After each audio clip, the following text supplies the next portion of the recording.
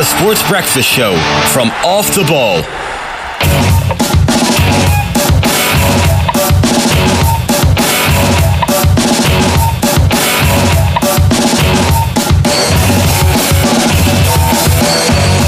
Very welcome along. It's Wednesday and it's OTBAM, the Sports Breakfast Show from Off the Ball, with you live as per usual until 10 o'clock this morning. Nathan Murphy is with me this morning. Morning, Nathan. Morning, Shane. And Kathleen McNamee is here as well. Good morning, Kathleen. Good morning, guys. How are we keeping? Uh, I guess we should start with some matters. Ireland, we've loads coming up, by the way, between uh, now and 10 o'clock. We'll have a treat. Tommy Walsh, live in studio from 8 o'clock. So yeah, obviously get a lot of coverage from Tommy at matches, but uh, nice to have him in studio and we'll do a bit of a hurling state of the nation on the year so far and look ahead to this weekend's two big hurling semi-finals. We'll have Alan Quinlan at 25, uh, talking the other 20s. Of course, they've dealt with a, a tragic week uh, with the Irish 20 squad, knowing the, the two young lads who were uh, killed in the Greek island, and then, of course, uh, one of the playing squad, uh, father passing away on, on that trip as well. Stacey Flood will be with us at 8.50 uh, member of the Irish women's seven squad who'll be heading off to the Olympics. Jason Quigley joining us at 10 past 9 to talk his latest uh, exploits uh, and where he goes from here, I guess, as well. And Brendan Devenny, highlights from last night's uh, PM from half past 9 as he discussed Derry and Monaghan's uh, um, adventure uh, this season and heading to the All Ireland semi finals. Is that another record that we're like 20, 30 seconds into the show and you've got your first mention of Monaghan in already? That is it? It's not bad. I Oh, we're delighted for you. The whole nation is delighted that the, the underdogs are going to get uh, a chance against the dubs. Isn't that what you were saying in the crappy quiz last week? I was getting dogs abuse. Listen, well done. Gee, Nathan, this is the first time you've been on since Sunday. How are you feeling?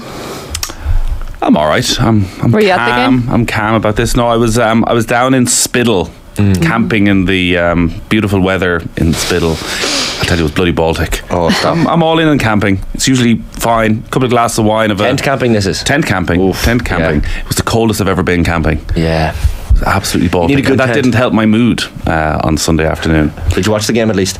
Oh, I did, yeah, yeah. I was in um, in the pub in the main street in Spiddal. Lovely. There was a few Mayo folk around who were sort of slowly moving out the door as the second half went on, but I stuck to the bitter end. Yeah, I think the game went. I won't say as expected, but there was definitely a sense that. Uh, we kind of knew where Mayo were, but we didn't know where the Dubs were. And if the Dubs, when you looked at that 26, were as strong uh, in reality as they were on paper, if they could get back to their very best, that Mayo would be in a lot of trouble. And I think that's sort of how it worked out. First half, if the goal is given, is it a different thing? If Mayo go in a point ahead at the break instead of a point behind, suddenly those scores that Dublin rattle off at the second half aren't as much of a killer as they are. Even before the Dublin goal, the second Dublin goal, it felt. oof, you know, Mayo just hadn't come out at all.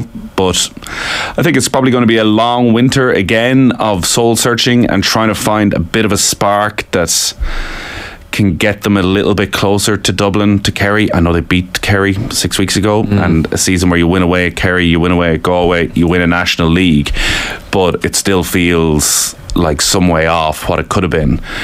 And who goes is the other question. Like again, every winter now, because so many of those players have been around for so long. Like, is that the last we're going to see of Kevin McLoughlin? I'd still be surprised if Aidan O'Shea left. I, I don't see why he would. I think maybe his role will continue Why to was he develop and change. Uh, like- Uh, funny, I didn't think he was having that great a game. He couldn't walk when he came I off. saw people saying he had a he definitely had a big impact in the first half in the first twenty minutes. Like I was sitting right down beside the sideline and I watched him walk off like literally just a few meters away from me and like he was hobbling off. He looked like he just didn't have anything left in the tank even to get himself off the pitch. I, I don't know, that's why I think he was taken off anyways. That's fair enough, I suppose. Then, if, if And I think Cillian O'Connor against Galway came on and you know offered a lot in the latter stages of that game, and you probably felt he had a good 20, 25 minutes in him, but the game was gone mm. within minutes, and it just became a bit of a mess from a Mayo point of view. What do you think about McStay's comments afterwards? Because like I was chatting to a good few Mayo people after the game, like a- after he'd spoken, and they were kind of like frustrated at how positive he was about the season, and like the sense that any season where you end it with like a twelve point loss to Dublin isn't exactly something that you should be going out being like, yeah, it wasn't too bad. But then when you point out, you know, obviously league Well, away to Kerry, away to Galway, but then the stuff in between was so bad.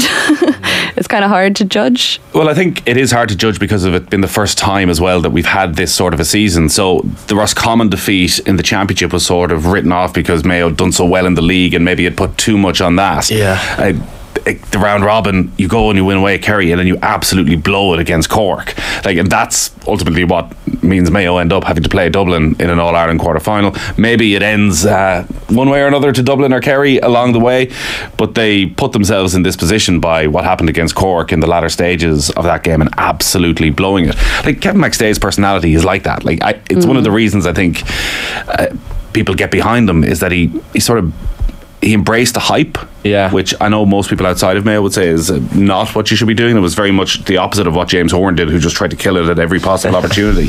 But McStay's Day's personality is one of positivity and being Refreshing very open and honest. And here's what I feel, and he probably felt like the players. Is he talking to us? Is he talking to the players? The players are in the dressing room. They're absolutely shell shocked. You could see after the game, Aidan O'Shea, Paul O'Hora still sitting there three, four minutes after the game, just shaking their heads. That this is his first year in charge. If this is a rookie manager coming in with his first year in charge, you're probably thinking there's some signs of progress there for Mayo. But because it's as an experienced coaching team as you would ever have in their first year, there's a definite sense of of underachievement, and maybe there's a bit of a reality check from Sunday. If you look at the last three games against the Dubs, so beaten out the park in the second half uh, on Sunday, there's 2021, uh, one of the greatest days for Mayo football. The day we took down an empire is what always But gets there's a like, there's a freakish element to that, and that Dublin were totally in control in that game. Like they were toying with Yeah, Mayo yeah. in that game for so long. So there was a big gap there, and Dublin mentally just broke that day, Mm-hmm. and Mayo found something, and even then just about got over the line. And you look to the previous year where it was the exact same as Sunday, where Dublin Mayo are two points up at halftime, Yeah. and Paul Mannion goes and produces one of the great Croke Park displays in the second half, and is kicking points from here, there, and everywhere. And again, there's a massive gap. So, uh, like. The 2016 2017 Mayo side is now, by next year, it's going to be eight years ago since that great Mayo team. Almost all of them are going to be gone, probably with the exception of Paddy Durcan and maybe Aidan O'Shea. Uh, Diarmuid O'Connor probably still hanging around. So, this is a new group trying to learn their way, still having to deal with the expectation that was with that side. And you probably look at something and think they are a bit off the top two.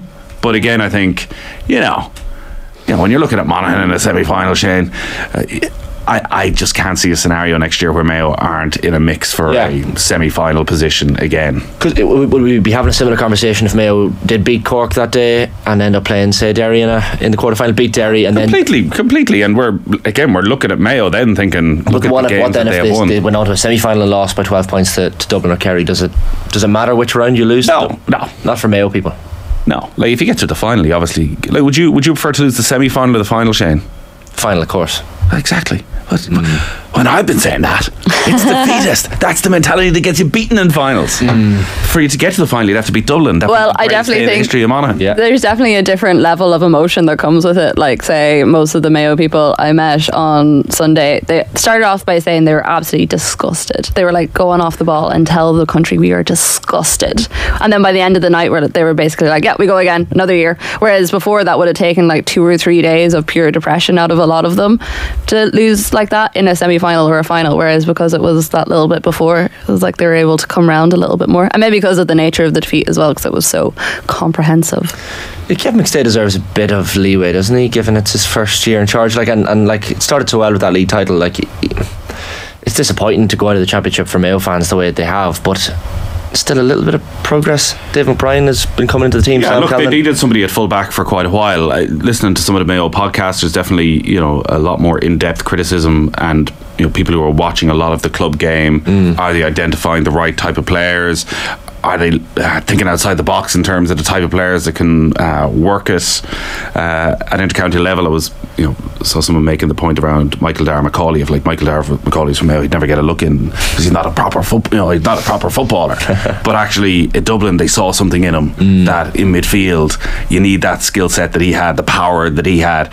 May not have been the greatest kicker of a footballer of all time, but he had what you needed at intercounty level. And our Mayo looking around, uh, considering the amount of footballers that there are are in the county for something a little bit different. Well, they have the backroom team, like those lads. Isn't McHale and all these lads' jobs to to? Isn't there a club liaison? Isn't Absolutely, there there's, no, there's all of that, and I'm sure here, if uh, when we do talk to Kevin he'll come on and say we pick what we believe are the best Yeah. 26 footballers that can do a job, and there's every chance that they are picking the best 26 players in the county that can do a job. But it, it does feel looking at Kerry and the genius of Clifford and just the strength in depth that Dublin are probably always going to have. They need to find something a little bit different, but again, you get to a semi final, the draw works out in your favour. You don't always need to be the best team in the country to win in All Ireland. Mm. You just need to win the games on the day. And that's probably Mayo's best hope for the next few days is that the next few years that you you find yourself on the right side of the draw at some stage. Things work out. Yeah, You know what? We're back. you can find there's only been one national title handed out so far this year, and Mayo have won it. it's true. Yeah, things happen fast. So I see now they're talking about getting rid of the uh, league finals again. Ah, they can't be doing that though. People people enjoy having having league finals. I think. This is the That's perfect time of the year. Well, not when it's you have to go out a week later and play in Yeah. the championship. Can you see anything but a Kerry Dublin final at this point? No, No. no, and um, as much as I would love to see a Monaghan upset and The the, joy that it would bring you, it does feel that if Derry or Monaghan were to win, that that would be their day. Yeah. and then actually you'd have quite a one-sided final. Whereas, I think if The neutral. if you get Kerry Dublin for a neutral, yeah. Yeah, you'd want a semi similar to the semi final last year, I guess. A bit of a bit of a classic. Uh, remains to be seen. I'm still holding on to a little No, remnants. no, from- here, listen. I think in our last Enjoy four these couple Enjoy of it. weeks. Someone correct me, but I think the last four times Monaghan and Dublin have played each other in the last couple of years, One have won three of them. Oh, You think? You think? I mean, Someone someone, got your stats. someone correct me. The other one could have been a draw as well. Someone correct me on that. If And, and, and just let us know this now. Has, has Vinny Corey been directly in touch as to what the game plan is for the next? Are you, are you playing things down, or are you? ah, you have to, you have to do a Roscommon, don't you? Like you have to keep the ball for as long as you can. Absolutely. Like what's, what's Give the, them nothing. Frustrate the life out of them. This is the Have thing. the hill booing. Hundred percent. Yeah, yeah. Like, you're not there for their entertainment. I want to see Monaghan run out and warm up in front of the hill as You well. want Brolly writing three thousand words how Monaghan are a disgrace to Yeah. football on the Sunday morning. You can forget about That's your Monaghan best as chance far of as winning. they're a county. Yeah, let them at it. Yeah, hundred percent. We'll, we'll like. I, I have. So on the Instagram stories last week for the Monaghan game, like everyone in Monaghan seemed to be at the Armagh game. The the like everyone. I literally mean everyone in Monaghan is going to this Dublin game. Like I- what I don't know what the allocation for Monaghan will be. Thirty thousand. That'll be half the county. And uh, there are people coming from abroad as well. Uh, in the brothers flying in if they beat Dublin for the final. This mo- the biggest Monaghan game in your lifetime. Probably, but the, I suppose they had a semi final against Tyrone in 2018 where they like were kick of the ball. They lost by a point. They probably should Why have does won this feel game. bigger? I guess it's Dublin. Penalties in a quarter final as well just adds a bit of drama maybe around the whole thing. McManus, Clutch McManus. There's a few talking points. Um, so maybe it's just more like it's this team. Like Vinny, Vinny Corey said they had a team meeting at the start of the year and getting to a final was the was the ambition. So one game away. Who knows? Oh, that's. I'm not. See, I. I Is it like Mayo or back always talk about? It's not so much about the football and the games; it's the days out that you get and all Yeah. the fun around it and the weeks of build up and expectation and just the heart crushing defeat. What's wrong with that? Exactly. no, that's what I'm saying. But that, that's the best part of it I never all. get the criticism. the actual like 70 minutes on the pitch is probably the most pain part painful part of the whole thing it's all the Yeah. bits it's like christmas christmas day is not actually the best part it's like all the fun around it My, big disappointment was I had pulled a Sheehan on this, and I was like, "No, we go camping that weekend because whatever happens, the weekend the semi-final, final, I am keeping free." Yeah, yeah, yeah. Yeah. And one of the big disappointments on a weekend when Mayo loses, you're like, ah, but when they're playing at Croke Park, all the lads come up, people you haven't seen since last year, everybody's up for the weekend. Mm. It's a good night out on Saturday night. There's a bit of crack around town on the Sunday. Like, that's the bit you want. yeah, the crack. But again, that's the loser mentality, Shane. Don't you be enjoying yourself in the build-up. You better not be having any nights now in the Thursday night with all the legends or something No, that you're no. emceeing and getting a handy few quid for. that sort No of stuff fun. is losing the run of yourself. God forbid you have a bit of fun before the game. You know. tell you, there'll be a lot of money to be made for you now if Monaghan win this semi-final. Would be, hopefully, you never know. I'm available on LinkedIn there, lads, if you want me. Twitter at Shane Hannon01. Cash only. Cash only, yeah, brown envelopes, please. Um, yeah, no, it's one of those things I tweeted the other day, a photo of uh, one of the, the articles after the, the weekend's football saying Dublin Kerry final on the cards. I was like, ah, stick in the dressing room, lads. Monaghan and Derry. Conan Doherty replied, a, a journalist from Derry, of course, and he he said, yeah, sure, listen, wouldn't, wouldn't be wouldn't it be great to kick a few points in Croke Park in a semi final even? Wouldn't it be great for Monaghan just to go out and score a goal against Dublin, the great Dublin team, wouldn't it? Red carpet. It's an honour for Conor McManus to even get to play in Croke Park. get to isn't it? play there, hundred percent. I mean, Jesus, for this Monaghan team who've spent ten years in Division One, wouldn't it just be an honour to line out against the Dubs? But look, I'll, I'll have convinced myself before the, the Saturday week that we, we can beat the Dubs. Is McManus the most important individual player to any county over the last decade, even? Probably. Like Clifford is maybe getting there for Kerry, which is remarkable when you think of Kerry and the general Their strength that they Yeah. have. Yeah. Although having said that, like you know, Mon- Gary Brennan down in Clare. possibly, but the future would, uh, beyond McManus now looks a little bit brighter because they're like they, they've played a lot of games this year without him and they've won games without him. But obviously for clutch moments like Croke Park at the weekend, I mean, like 2010, like Marty Clarke or Benny Coulter for down, possibly yeah. getting them to that All Ireland final. dragging a team to a final. Yeah, it can happen. And if McManus does it this year, I mean, well, if it, if it happens this year, there, there's other players, Conor McCarthy and Karl O'Connell, who've dragged Monaghan there as well. But yeah, it remains to be seen. We'll uh, we'll hold on to the hope anyway. But Nathan, you haven't killed our hope entirely just yet. I know you're saying it's Dublin Kerry final. Hope, hope, but that's all you've got, Shane. Exactly. I'll enjoy the build up. And yeah, LinkedIn and, and Twitter's where you get me for all the for all the gigs. Um, I was chatting to Gavin Bazunu yesterday down at the Shamrock Rovers Academy at Roadstone. You're taller than Gavin Bazunu. I am. I was looking it up because I was looking it up in advance. I was Yeah, like, I wasn't sure if that was just a camera angle or if No. you actually were. I, I deciphered I'm so I'm six four and Gavin's six two. So I mean obviously I'm not an international goalkeeper but Clearly. he's got that ahead of me. Uh, Stephen Kenny's looking though. he's looking, you know, uh, he's an impressive lad for, for 21 years of age. You know, has a, a strong head in his shoulders. Like he talks a lot about reading Malcolm Gladwell's psychology books, and was someone who was very keen. You know, even when he was heading over to Manchester City, he wanted to complete his education, do his leaving cert, which he did. Uh, he's got a younger brother now who's also a goalkeeper in the Shamrock Rovers Academy. Um, but it was they were launching this boot room initiative, which is a really good idea. I think a, a couple of other clubs in the League of Ireland are doing it. Obviously, football boots are expensive. You probably know as the father of kids, Nathan, that football boots.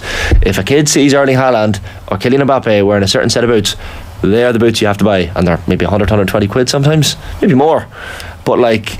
This, this is something that the Shamrock Rovers Academy have started so that the people can donate boots and uh, Gavin Bazunu has donated 5,000 euro worth of boots. So that's Oh. kind of where he uh, was was over chatting to, to press about it. Uh, Michelle McPhail it was her idea Steve McPhail's wife and obviously they have kids as well involved in the academy. Um, but yeah he spoke very well. Like even he, he watches all the Shamrock Rovers games still if not in person on, on, on the telly or stream or whatever over in England.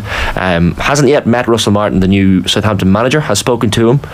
Um, but certainly the vibe I was getting from Gavin yesterday is that he's, he's, he's going to be at Southampton next season for that championship push and they very much think that they can come straight back up to the Premier League Yeah, that's interesting because uh, obviously a lot of the headlines in the papers from the interviews today is that he still sees himself as a Premier League player. Yeah. Now, I was wondering, was that a come and get me plea that I want to be back and I feel I should be back in the Premier League? Uh, it does feel as though a year at Southampton in the Championship and Southampton.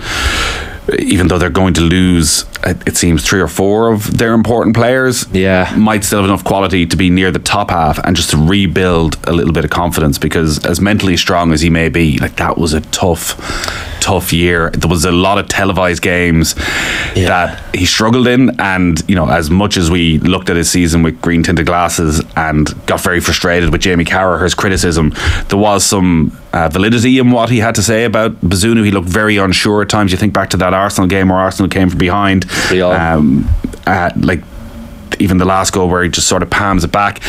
But he shouldn't be playing Premier League football at 21 years of age as a goalkeeper in many ways. Like it just doesn't happen, and it's no surprise if you look at the other young goalkeeper in the Premier League, Illan Meslier at Leeds, who's you know similar in ways to Bazunu in that he's such a modern goalkeeper, mm. so good with the ball at his feet.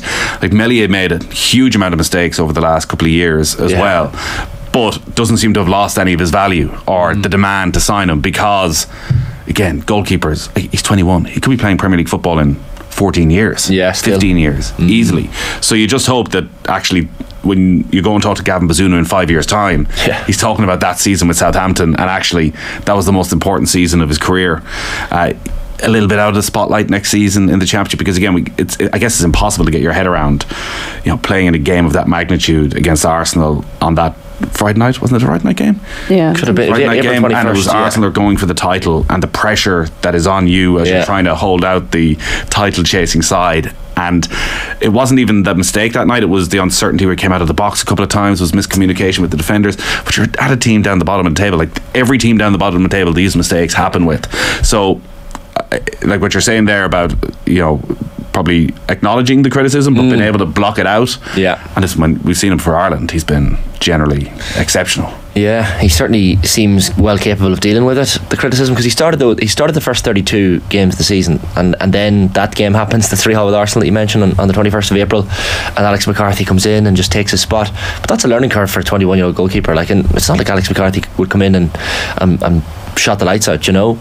Um, so Gavin will be definitely within in with a shout of being the number one from the start of next season. Like he spoke spoke even yesterday about the the impact being at Man City had on him. The the uh, Xavi the goalkeeping coach at Man City, the impact he's had in his career, um, and full of praise for, for, for Everton at Shamrock Rovers as well, like his development. You think back to him being 16, you know, saving that penalty.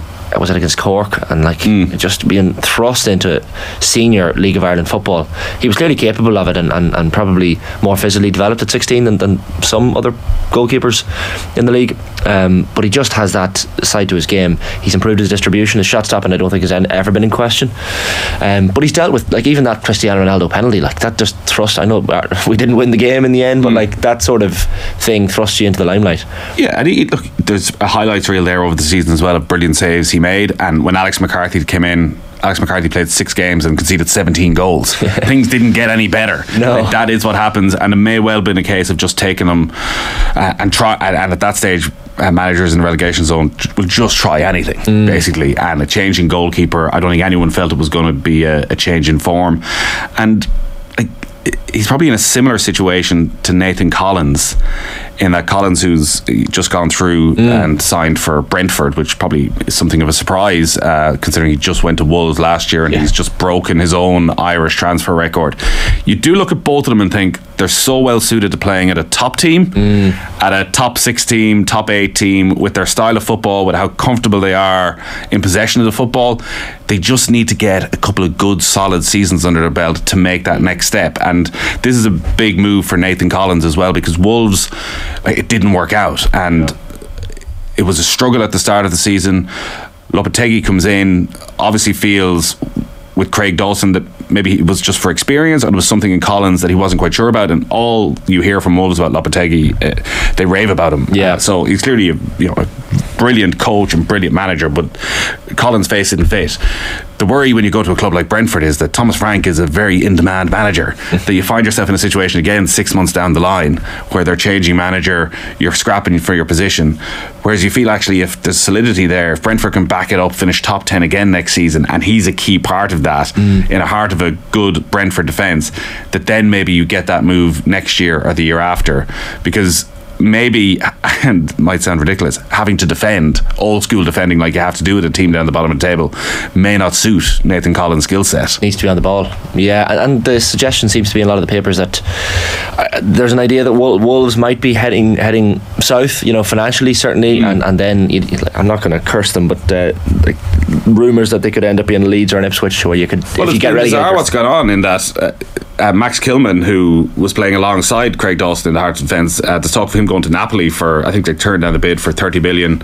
Uh, expectation Napoli go back maybe with 40 million. But like Collins and Kilman at the start of last season, they were talking about a Wolves could be a centre back partnership for the next three or four years. Two of the best young defenders in the English game. Uh, there was speculation about Lopetegui's future at the end of last season. Again, that they just didn't have the finances. So Wolves, it's incredible how quickly it turns. Like Wolves, a couple of years ago, we're looking at under Nuno, Matt Doherty out on the right hand side, Neves and Moutinho, Raul Jimenez flying up front. We're like, this is the example. But then when you go down the route that they went down, which has basically been George Mendes' baby, Yeah. and players are just passing through, and Mendes is obviously uh, looking elsewhere now. It turns out Saudi Arabia is somewhat more attractive than uh, Wolverhampton to do your business in. Uh, they find themselves in a in a little spot of bother. Yeah, well, I've been to Wolverhampton, and I'm sure to- you have to. It's pretty. I didn't hang around. The, sorry. The best thing about Wolverhampton is you can get the train straight in. Yeah, fair enough. Birmingham straight up. Airport, and I, I didn't hang around. It could be a beautiful part of uh, Yeah. Well, I Black stayed Country- the the night Black and ended up is Wolves? getting an earlier train than I had initially attended to. Finished up the game at one o'clock. Was supposed to get in the morning. Was supposed to get the train at I think it was like eleven, and ended up getting the seven train, which is like the first train back to London. in Wolverhampton in from Wolverhampton. Well, when I went there, I went there for England's last warm up game before the Euros last summer, and uh, the only restaurant that was open, and like this was early enough in the day that didn't have very drunk football fans. Obviously, we're not there for the women's game. Outside of them was a McDonald's, so that kind of said a lot at the time. Yeah, I think uh, my, my picture of of, of um, Wolverhampton was coloured. It was uh, staying in a, in a mo- in a not a motel, yeah, pretty much a motel in, in the shadow of Molyneux Stadium, and like it was a pretty grim place, like stains on the carpet sort of place, you know. Yeah, I, I like I could name many uh, English towns of covering games that I've like Mm. could uh, talk down, but then I feel that maybe like your experience is the problem that Mm. we go to these football matches. Like I stayed in the cheapest possible hotel I could stay in. I stayed out all night. I got straight off the train, went to the pub. It just doesn't feel like a very. It doesn't feel like a very warm place. Yeah, yeah, yeah, yeah. It's fair. Like, is, wait, is Wolverhampton in the Black Country? It is Yeah, the Black is. Country. Like, We, we, the we Black see- Country sounds like it must be a nice place. There must be something attractive about it. What like is it forest? Well, is it not the Black Country because of the mines? Could be. and know like that. the and because of the absolute financial devastation that it went to through whenever they started closing down. This This this is is- an education. Yeah, I love it. I mean, the, the surrounding area is beautiful. Like the train there is very gorgeous, all the countryside and stuff. But uh, yeah, no, there's just there was an edge to a town. You know, when you go to a town and there's an edge to it. That's what I felt, and maybe it was there me being there by Got the myself answer as for well. you. The area was one of the Industrial Revolution's birthplaces. Either the 30 foot thick coal seam close to the surface, or the mix of coal works, coke works, iron works, glass works, brick works, and steel works, which obviously had soot and air pollution, led to the area's name, which was first recorded in the 1840s. Wow, there was me looking for the forest. Don't tell you we don't teach us things. See, we had the car over on the ferry, so we drove out of Wolverhampton, and it was as grim the whole entire way out of it. So there is that. Now we, I was at the snooker as well as uh, uh, staying near Molyneux, so the Aldersley Leisure Centre. So the, the snooker was on. That's pretty. Uh, that that's exactly exactly as it sounds. Watching snooker in Aldersley Leisure Centre. So uh, it's not exactly the Crucible. Let me Not just exactly. Monaghan, is It's it? not exactly Monaghan. No, no, it wouldn't be. uh, we should. I mentioned the, the Gavin Bazunu interview. That full interview you'll be able to watch, of course, on, on YouTube uh, this morning. Uh, around ten minutes or so in total. He was he was interested in a number of different things. So bringing a clip, he was talking about um, Stephen Kenny and I guess criticism of Stephen Kenny and this idea that Stephen Kenny needs either two points or four points from these French and Dutch games coming up in September. Uh, so I asked Gavin his thoughts uh, from a player's perspective on the criticism levelled at Stephen Kenny. Uh, the international games, of course, uh, a bit of a mixed bag in the last couple of, couple of uh, windows, but I guess in September, the French and Dutch games. I mean, you hear the media reports that he needs he needs four points, Stephen Kenny, to keep his job. He needs two points to keep his job. But but, but I guess within the camp, you guys aren't listening to any of that. So what's the what's the reflection on, on, on Stephen Kenny, Kenny's tenure so far? I heard you saying to, to one of the, the journalists before, you know, this word promising. You know, you're a young squad that have been so promising, but uh, again, you want to get rid of that word now and just start, I guess, delivering results.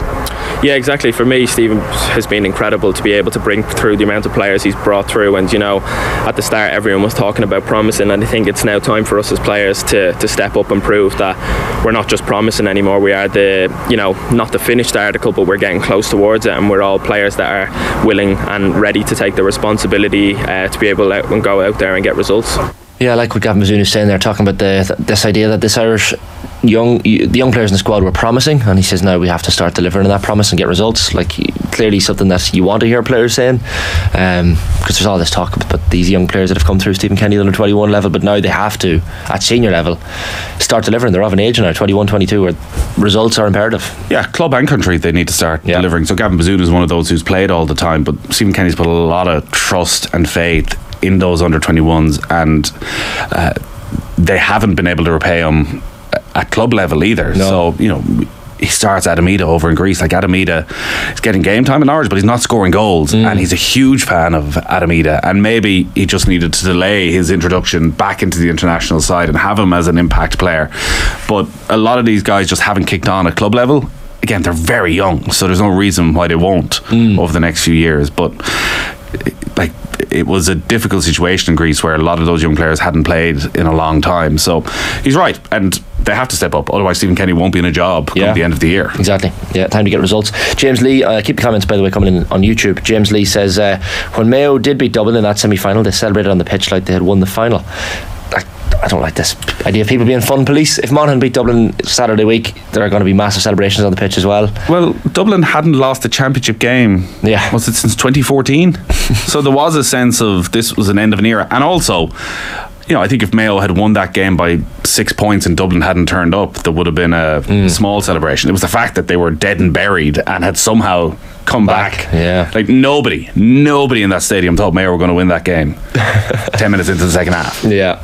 Just come out of nowhere. Uh, Shane says Nathan was smirking after they knocked Galway out. Time to retreat back to your box. Yeah. Like, I was getting lots of abuse on Sunday uh, Oh, yeah. from all the Galway fans for the abuse I was giving them the week before, which is fine. Like, I, like it's it's it's okay Mm. That's to it's all about. enjoy beating your nearest neighbours. It's fine. It's all right. I don't mind. Like, and uh, I, I don't get upset if Dublin fans are trying to ram it down Mayo's throat this week. Like, he won. Yeah, I, I have to Enjoy say, it. I was I, was it. I stayed in Ballina last weekend and uh, went to this the, to watch the match. We went to the beach bar, My local. which is your local Aughris Head, You're local. Yeah. which is Sligo. Lovely, lovely, lovely area. Scenic area. Went for a walk on the beach after the match. Yeah. But I have to say that I was thinking, oh, we're only a couple of miles from the border here with Mayo. This is going to be very Border, Ma- Mayo. the border. The border. Mayo centric. A lot of Mayo fans are going to be here. Walked in. There's a couple of Sligo jerseys doing the rounds. Pub was packed, and I mean to a man and woman. Everyone wanted the Dubs to win. Beach Bar though would be like St. Farnan sort of territory, and they would have quite a lot of rivalry with some of the Mayo clubs on the border. So it would definitely be one. I'd say if you went a little bit more central into Sligo, you would have got far more people Right. supporting Sligo than you would there. Like I got the train up on Sunday to go to the game, and like the Collooney station normally has about three people on the platform, and there was near fifty, and I was like, wow, didn't know this many Mayo people existed in Sligo. There you go. Um, so it's, it's the summer, so all the dubs are down the country. Possibly that's it all too. the dubs. Yeah. Yeah. Had you your top on during this? I was very disturbed on Instagram. I'm, I'm, I'm happy that you get to go away on your holidays, but like leave, leave the top on when you're But you posting can't, on the you Instagram. can't wear a top when you're at a jacuzzi, do you know? Oh, then don't post it, Shane. It's, Ah, listen. it's a bit much. Nathan, when you're in your prime, you got to post these Well, things. exactly, 'cause but- some the day will come where I can't post tops I think off the day, photographs. I, I don't want to. I don't want to be the bearer of bad news, Shane, but I think the day may have It come. may, it may have come. Yeah, barreling down towards 30 now, but um, not quite at your level just yet, Nathan. Uh, someone says, Conor Rose says, that part of England is where hope goes to die. So, um, sums up the Black Country, I think, for, for some people. But there, I'm sure there are lovely areas in the Black Country, and no offence intended to anyone. Can't wait to our first live commentary of the Premier League season, live from Molineux. Wow. Yeah. Put down. Yeah, exactly. Uh, look after yourself over there, Nathan. Uh, 8.01am on this Tuesday. I've done it again. Tuesday. Wednesday. Wednesday. Happy Wednesday, folks. It's hump day and I, I know all about it. Uh, OTB AM, the sports breakfast show from Off the Ball. We'll have uh, Tommy Walsh in studio, live with us just after the break. Can't wait for that. Uh, but first, we'll bring you a clip from the latest episode of the Football Pod. Have a look. OTB AM. It's Galway versus Kilkenny. But not as you know it. It's the fastest I've ever seen you run in your life, bro. It's just- Hurling Pod Live is off to the Bord Gáis Energy Theatre in Dublin this July, and you're invited. I'll be joined by my co-host James Skehill and Paul Murphy on the night Start the leveler, he'd say, and the tractor is coming after us. as we debate the highs and lows of the 2023 season and preview the All Ireland hurling final. Plus, we'll be announcing some more hurling legends to take the stage with us. it was a rook. I got confused. It's happening on July 20th at the Bord Gáis Energy Theatre. It's an exclusive off-air event. Tickets are limited, so don't delay. Go to offtheball.com forward slash events for more. Bord Gáis Energy, proud sponsors of the All Ireland Senior Hurling Championship. this is what intercounty hurling is, is it? That's why I should have stayed said rugby. Jimmy had a bit of a howler. Jimmy went big on Mayo. ah, magic. I must say, I got that badly wrong. Yes. I didn't actually realise that Dublin were going to be that good. I think that was my main mistake. you know what? Like, your man. I Dublin were better than I thought they were going to be. A good bit better. Now, at, at the same time, their full back line was under savage pressure in the first half. I mean, they were in trouble. They can see you the eight keep going points in about after five this minutes. full, You keep going after this full back line. Sure, they, they changed the merchant had to go on to, to Tommy Conroy. They put someone else back. They definitely changed their system at half time as well Another to clean sheet, protect though. Them. Yeah, but they tidy right up second half. But that's a sign of a great team that you can actually just change and adapt, especially at half time. Just get in and change it up. But no, I was very impressed with Dublin. Our, Ma- our Mayo, very disappointed. But Is it- you is it fair to say- architects of their own downfall again? Two goals were diabolical as well. is it fair to say Yeah, that yeah. regardless of Kerry's statement that they made on Saturday, and that was impressive, and we'll come back to that. Very impressive. What we saw from Dublin, given what Mayo showed us in the first half, was even more impressive. Mm-hmm. We You were could argue. we were just chatting. Was that off air, Jimmy? Before we came on, I I actually thought Kerry were the most impressive team of the weekend. Genuinely. OTB AM. The Sports Breakfast Show from Off the Ball. 8.04am on this Wednesday morning's OTB AM, the sports breakfast show from Off the Ball with myself and Nathan live with you until 10 o'clock. Delighted to say, a treat for us all now. Tommy Walsh is live in studio. Morning, Tommy, how are things? Good morning, Shane. Putting us to shame with the suit as well. Jesus, I mean, What a man. if we'd known, if we'd known, myself and Nathan could have at least put an effort in. We, you never do, Nathan, I know, but still. Uncalled for again, isn't it? There's a lot of lot of cheap shots here. off. See, I was getting an awful lot of abuse from, from Nathan on the crappy quiz on Friday, so just taking my opportunity. I soon won as it, so that you know Revenge. The He did, he, he won it. Uh, how are you keeping, Tommy? Yeah, great. It's great. You're listening. Coming up to probably the biggest weekend in hurling, bar the All Ireland final, like the semi final since the, I suppose the provincials have turned into a round robin, have been probably epic. You know, and um, really looking forward to this weekend. I'd say our first one was probably 2018, Limerick's first. Um, Cork semi-final. You know, the, the Cork semi final when they were down by six or seven points, only a couple of minutes to go, and how those probably eight minutes changed the history of, of hurling, like, you know. And so that's what we're heading into. Hopefully, another great weekend of hurling. How have you found the championship so far, generally speaking? I thought, to be honest, Shane, it's an outstanding championship, and you know, I suppose was all kind of the Munster Championship versus the Leinster Championship, really, for, for so long. But if you take each of them in their own right, the Munster Championship never lets you down. Like you know, um, you go back down to the to the game between Cork and Tipperary, Tipperary, Clare. You could pick any of them. I was lucky enough um, that I was at the one, the Limerick and Clare one down in the Gaelic grounds, and like that was old school championship hurling. It was just it had the feel of if you lose, you're gone, and even though you weren't gone out of the championship, the, it was a derby. And Yeah. um, it just felt every much like that. And we were treated then to normally them games they're intense, you know, there, there's not much going on, only hard hitting and that, but there was extraordinary hurling in it as well. Like so you had the best of both worlds. And you had Lohan up and down the sideline, like, you know, like Lohan with his white runners those many years ago. Just commanding, like, you know, and the whole crowd and like got some feeling that night of the love and appreciation and honour and respect the Clare supporters and players had for Lohan that day. And the whole place was in it together. And listen, they won that day. Limerick got back to revenge in the Munster final and um, on they go now to the semi final as champions again and won the, the Munster for the for the five in a row. The only team outside of Cork, uh, in my knowledge, to do it, which is extraordinary for that group of players, you know, and mainly the same group of players that's doing it. They're not bringing through, you know, new guys every year and thing like, you know, it's nearly 12, roughly around 12, and that in a couple then, uh, in and out then uh, every year, depending on, on who's injured or who's in farm. Um, and then, like, you know, the Leinster Championship is, you know, not received There. the same. It, it's there. Well, the final, the final was good. The final was good, right? But if you do go back and look at, um, like, the big argument a couple of weeks ago on the Sunday game was, what are we doing to promote hurling? And it's grand, we have the glory days, but like Antrim and Westmeath in, in the Leinster Championship. Mm. Like you talk to anyone in, in, in the hurling hotbeds, blowing in Clonkill or Harney or up in Antrim in the Glens, like that are obsessed and love hurling every bit as much as anyone in Kilkenny or Cork or Tipperary or Limerick. They deserve their day in the sun. And listen, if it leads to a few matches that are a bit lopsided, that, but if they're happy that's promoting hurling up there, we want that to happen. And we seen today Westmeath went on and beat Wexford. Like nobody, you couldn't predict that. Mm-hmm. And um, go back to the to, to the underage setups with Westmeath. It didn't come out of nowhere. Westmeath, Beckley in under twenty one championship not so long ago when Eddie was over them, and um, nobody saw that coming. So it didn't come from, from nowhere. So sixteen point turnaround that was brilliant. The, the, the day down in, in Wexford Park as well when Wexford had to win to cut- you know to ensure that they were in the Liam MacCarthy Cup next year.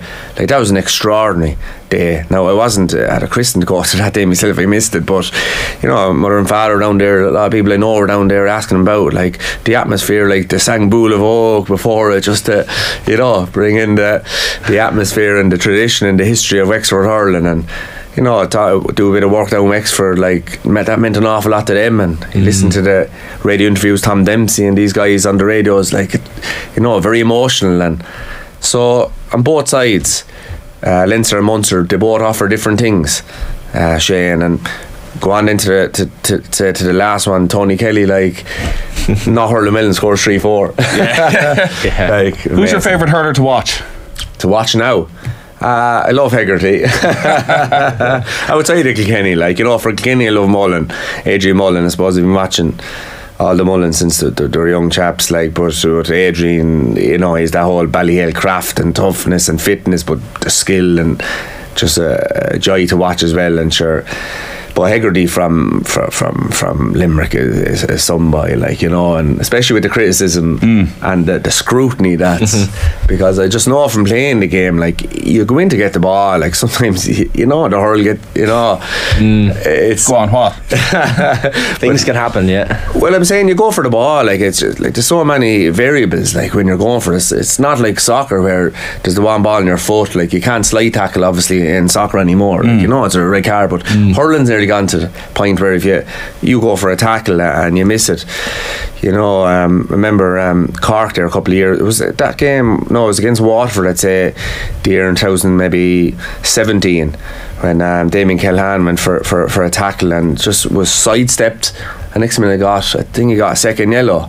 And I just felt that's not, the, you know, that's not the way. Like, cause just when you're watching hurling, you, it looks terrible on television and that. But when you're in the game, you go full blooded for, for the ball, and sometimes you know you miss the ball. Yeah. And that shouldn't mean huge scrutiny with you know slow down cameras and because it can look terrible, like you make that look terrible. But listen, Hegarty, anyways, will be one guy. Um, Gillane at the moment, though, is the best hurler in the country. I think um, he's just unmarkable at the moment. So if any of us beat, beat Limerick, I think we'll have to mark Gillane. A couple of things on that, just on Hegarty. So there's been quite a few incidents over the last couple of years, quite a few red cards. Like the one that happened this year, and the f- just the ferocity of the shoulder, the way he went into that tackle. As much as you want that physicality, does he, with that scrutiny that he's under, does he not need to change his approach to the game? Is he not putting his team potentially at risk when managers are clearly watching them, or referees are clearly watching them? Yeah, well, what about the the, the tackles that's been put in Hegarty for the ball? I would say, like you know, like you see, it's it's tough on forwards these days, Nathan. Um, like uh, like you know, like say you take twenty years ago, you were you were told. Forget about the referee. You look after yourself. So cornerback, wing back, they're always up, maybe shoving you in the back, pulling your jersey. You know, maybe off the ball stuff that nobody can see. And um, like it, the referee, umpires don't really get involved. Like you know, it's mainly down to, to, to the referee, and he can't see everything. He only has he only has two eyes. So like what does a forward do like you know um, you can't you know hit hit a fella dig back anymore because so you get a red card Yeah. you know Yeah. so like all the if you're in, you know and you never see a, a back in a red card for shoving a lad or pulling his jersey or digging him so like you know Hegarty went you know he was a little bit late and that jostled down and it was on the sideline it just happened to be in front of the the bench which made it look a lot worse but um, you know there's probably has to be a bit of protection for the forwards as well that are suffering these off the ball you know like off the ball challenges if you like but and you that's why I, I if I you see there's a lot more diving nowadays do you ever see you know when a fella gets a Yeah. bit he's down holding his but he's probably he, he has no other choice really because he can't hit a lad back like you know that you can't do that Yeah. so you're a red card so I I just have a lot of sympathy for forwards uh, nowadays I was probably the back doing that forwards for years but Have you seen the diving? they were able to give it back to me so it was all bother Has the diving creeped in slowly, or or was that something that, that existed when you were a player, but just maybe Oh, less less so? never existed Shane but like never existed back then like but there was no recards really back then unless you did something you know that was Grievous deserving of, yeah deserving of a red card like you know so So you, you, you your sense is that the diving has crept in because forwards have to try and get. It's the only way they can get the defenders punished. yeah I don't think there's any protection for him like um you know and you know you can't have six referees like a, an American football game either. Hmm. Listen you're just looking at a free taking competition so hmm. listen that's just their way. The game will evolve to again and, and on they'll go but um, no listen I'd, I'd have no like I don't think there's any issues in the game at the moment. Like there's always talks about rule changes and we'll change this we'll change that. Hurling is epic at the moment like You know, why would you change anything? You hear people saying there's too many scores, but that's kind of an argument that has, I guess, been around the, the, the weight of the sliotar and stuff as well. Yeah, well, scores are probably doubled probably in the last probably 15, 20 years, but I think that's more to do with the ping in the ball. Like, like people say the game, the ball hasn't changed. The, the ball has changed. Like if you play the game, the ball has changed. Like the ping, yeah, the weight might be the same. If you, you hit a ball now, you can glide the ball over on the run from 60, 70 yards. Like, you know, beforehand you'd have to give it your almighty 100% Johnny McMahon effort to mm. score the ball from 80 yards, lads, you know. So the ping and the ball has changed, like, as in.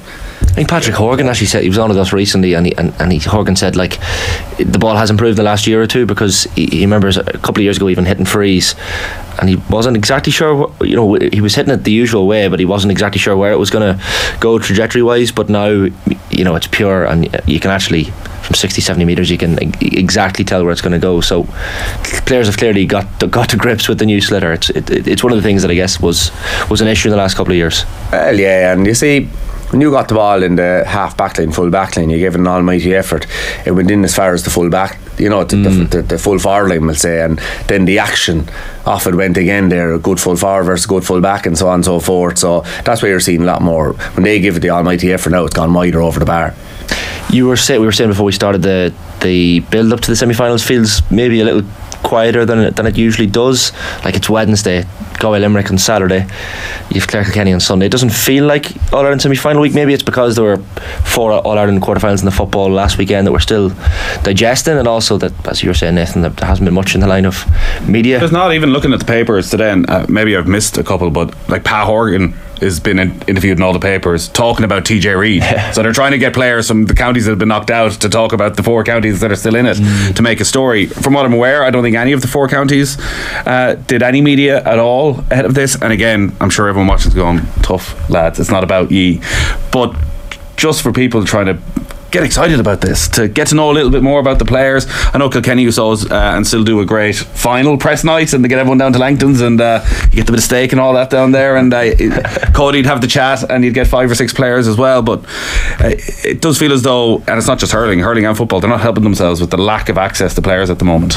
Yeah, definitely. I suppose they're afraid of so much going on. The, the media and social media is now they're probably trying to protect their players and that they feel that's their duty. Like um, you look at say John Kiely, like this weekend, there, is so much to promote. Like John Kiely, I see he's been in twelve finals, twelve national finals, hasn't lost one. Hmm. He's trying to get to the All Ireland final again to make it 13 out of 13. Henry Shefflin over Galway. Like Shefflin has won what, 10 All Irelands as a player. He's won three or four Club All Irelands as a player. He's won two Club All Ireland finals as a manager. He's be, like, I wonder, is he be- trying to become the first manager to win as a player and as a manager? Uh, an All Ireland club and an All Ireland senior inter county. Like that's incredible stuff to Just do. so I'll have it over Cody.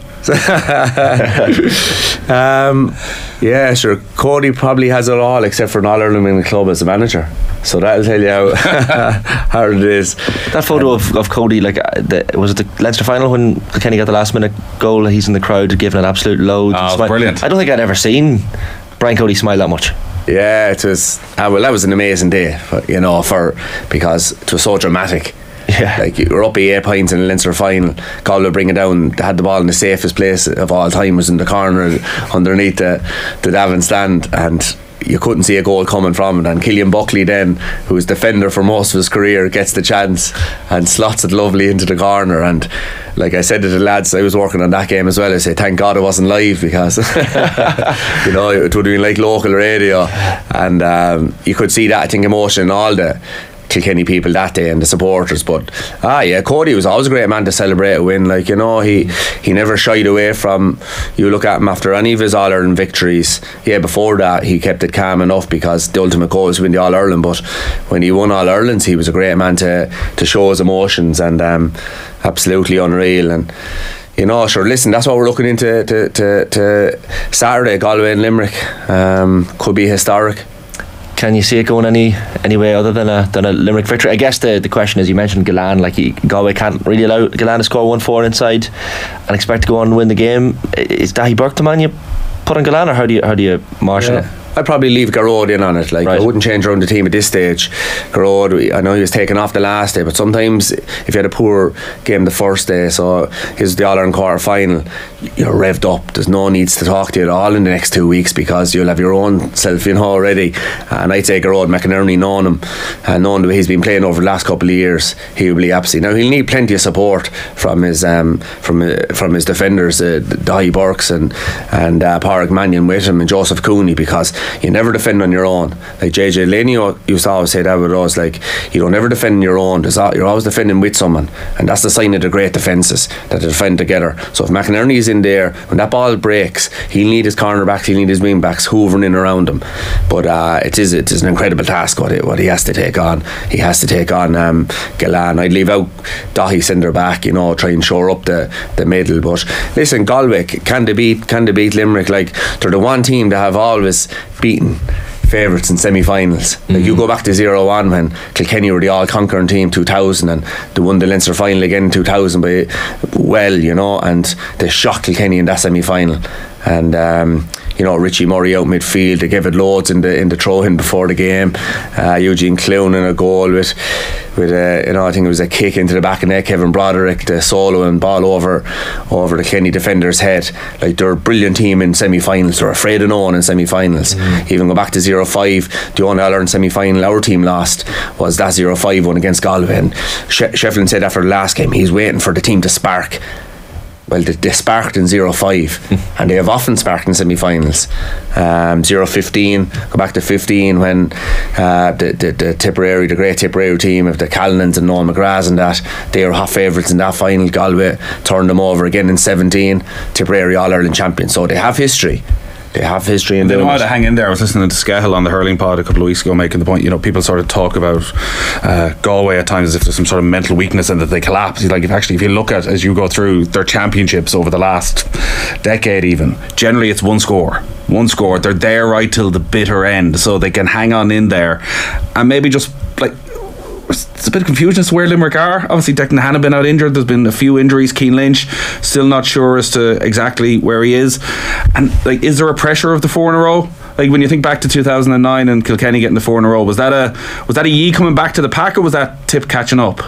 Yeah, well, I definitely think in zero four, um, was hugely intense when we were going for the three in a row. That time you couldn't do a three in a row. Mm. If, if, if you remember that time, like to do a two in a row was was an amazing feat. So to do it a three in a row was like going to be historic. And definitely zero four that year. The whole year was like Limerick's year this year. It was tough. You were fighting against the fight all year long, and eventually Cork blew us away in the All Ireland final. Just I think it was a 17 points to nine. Just kind of a cakewalk nearly near the end. Really, like you know the whole fight. I wouldn't say the fight was gone out but the freshness was definitely gone. And Limerick have been like that so far. Now the only thing for Limerick is it happened so early in the season. Like they were flying it in the league. Suddenly they went through that round robin. So have they had four weeks now to just freshen up? Remember John Kiely was talking about, you know, giving them a week off and then we'll get going for the semi final. Like he is the master of psychology. Um, The like- freshness is, isn't something you can fake. oh, absolutely not. But if they did take a week off, and you know, possibly took it easy, like the pressure. When you talk about freshness, is that a is that a physical thing or a mental thing? It's mostly mindset. It's a, um, in my- in my view, like remember um, Bill Hennessy used to play for Tullaroan. He, he was on the Kenny team in the you know 92, 93 and, and a couple of years at 91 as well. A couple of years after that. But the great Willie O'Connor used to say to him that time, he'd rather be fresh than fit, and he's huge. you know, because when you're when you're fresh, you're hungry. You'd go after, you'd win a ball you shouldn't win. The ball will be there, and you'll do. You'll put in your foot, you'll put in your hand, you'll put in your head. Like remember Larry Murphy, and it was the '96 or '97 Leinster final. It was a Jerry Canning or on the lad said during the game watching it. Larry Murphy, he put in his head, or other lads wouldn't put their hurl. You know, that's freshness. Hmm. That's hunger. That's savagery, and that's what you need when you come because usually when you get to semi-final stage and final stage there's not much between the teams. And it could be that one like you take Limerick and all their greatness and all their all-conquering team they win a lot of matches be a point or two. Hmm. So one lad putting in his head where another lad put, wouldn't put his hurl could turn them over you know? And I thought Clare did that earlier on in the year because eventually they only ended up winning be a point or two. So it could be that one tackle. Like people always say about the mistakes. Geez if we didn't make that mistake. Mistakes happen. And if you, if you don't go for it. You won't ever make mistakes. But it could be the ball that we'll say if you if you think of the ball that you go for, not the mistake that you made, but if I had to win for that ball, a diving block maybe or a, a flick or went for you know uh, followed your man instead of not following him that one time. That could be the difference in turning over a team. So um, yeah, listen, will Limerick have that the weekend?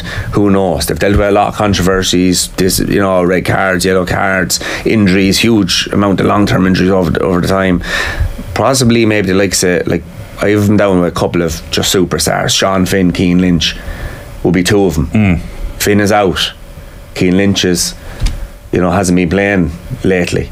Um, so they could have huge impacts on the when, team. when you're talking about freshness and, and, and even mental freshness, Tommy, like, do you, so do you mean like I guess when there's a one week gap between matches, you're you're straight back onto the training pitch for recovery and all the rest on the Monday or Tuesday, no time to really relax. Whereas maybe if you have a two week break, you can have the couple of pints on the Saturday night or Sunday night, or maybe the takeaway on the Sunday night as well, and, and not feel too bad about it. Is just is it that opportunity to to park it and remove yourself from from the game that you mean? Yeah, I think two weeks is probably short as well, right. Shane. So you're probably more looking at three weeks. Yeah.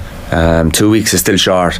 Um, th- thousand and I'd say it was thirteen. I think it was thirteen. We played um, Dublin in Portlaoise, and um, no, it's twelve. The year Galway Bez in the Leinster final we were absolutely psyched for. I think Dublin were after beating us league final year before, so we still had that kind of hanging over us.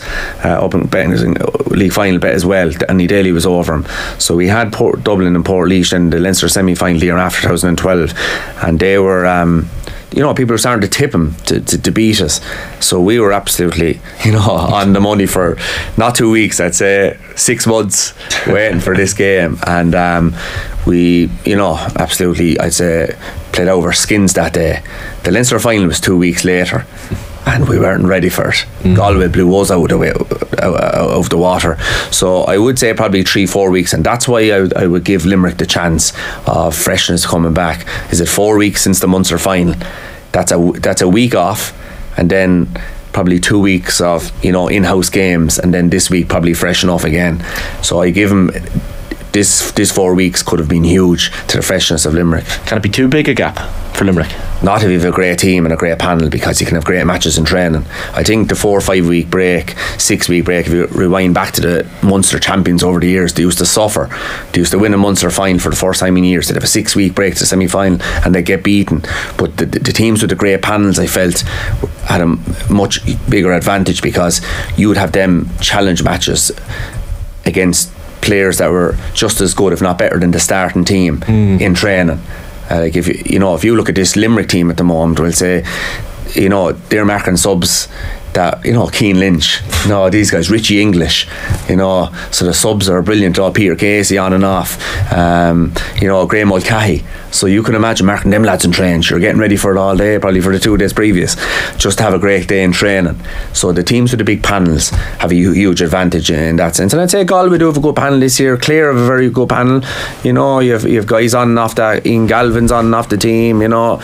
Um, you know, great backs in there, you know, Flanagan and Shannon Morey, the lads on and off that field. So I think the four teams left in it have good panels. Can I just ask you one last thing on uh, Limerick then and the way they set up with, you know, you talk about the superstars. Declan Hannon is like the steady Eddie in that mm-hmm. team, like yeah. the captain, guaranteed 8 out of 10 minimum in every game. Who replaces Hannon? So Hannon, I would imagine you won't change around your team too much. So I'd say um, probably Colin Coughlan will will come in. Um, I'd say centre back. Like uh, unless they bring over Kyle Hayes, but he's so effective on, mm. especially in Croke Park. He kind of goes up and down that left wing underneath. Say if they're playing down to the Davin, up and up and down that Cusack stand, and a lot of times people don't kind of follow him. I'm sure Shefflin will probably have a, a man to mark him this this weekend, but. I wouldn't. I'd be probably slow to take him out of centre and just nip him, Colin Coughlan straight in centre back. But um, usually you don't want to make too many changes um, to a team. But Declan Hannon, what Declan Hannon is, is he, he's the guy that can, the old school, hover around centre back. He lets Byrnes then go up a bit and do his shooting. He lets Kyle Hayes go up and down because he's the one constant, always there to cover the, the full back. They do a lot of out balls. The Limerick team, they're probably the best team in the business at coming out with the ball in transition, and he's there, and you can't keep your eye off, off him either because he'll come up and hit the ball and run over the bar from from, from 70 yards. So, yeah, no, listen, Hannon will be a huge loss, but they have a good guy to come in instead of him. From saw Michael Duignan suggesting you know Limerick could could throw a curve curveball and maybe throw Cian Lynch at six, would allow Cathal O'Neill to go back in at eleven. He was great off the bench in the Munster final, like as well. Like, but it may, as you say, maybe it's too late in the day to make changes that drastic. Possibly, is it? I think that's a bit drastic. Yeah, like that'd be a big one, all right. Um, it wouldn't be one that he's, you know, if it, like Cian Lynch will be. If we talk about Declan Hannon staying back in the pocket, mm. Cian Lynch, I would imagine that natural draw of him to go up and put the ball over the bar, and I probably his genius is in his creative genius, like you know that he's hovering around, he's able to open up a, a defence with, with a split ball. If he's back trying to be disciplined and covering back, like like half of a, a defender's job is running back towards his own goal to help out and to take balls back off opposition forward. So we probably Oh, that's the, the ultimate. It's Cian Lynch as a defender. Maybe a bit of creative genius in the half back line is, is exactly what they need. Yeah, yeah, You know, freshen him Oh, up. he can't- he couldn't defend. Yeah. Brain is going. on. A massive insult there. he couldn't possibly do it. Yeah, no, not for me. No. The uh, the Clare Kilkenny game then on Sunday. Um, it appears it's recorded reports today. John Conlon and Dave McInerney are winning their their races. They're expected to feature, which is good news, obviously for for Clare fans. That that's massive, isn't it? Like it could have been the turning point in the game. Conlon and McInerney not being fit. Yeah, well, it probably was last year. Yeah. Semi final against Kilkenny, Conlon out and Tony Kelly hit, but kept by uh, Mikey Butler because Conlon is just in, like a half back line, whatever about defending, he has to be the like guy getting the ball into the forwards. And if you have a good forward line like Clare have at the moment, what they need is ball.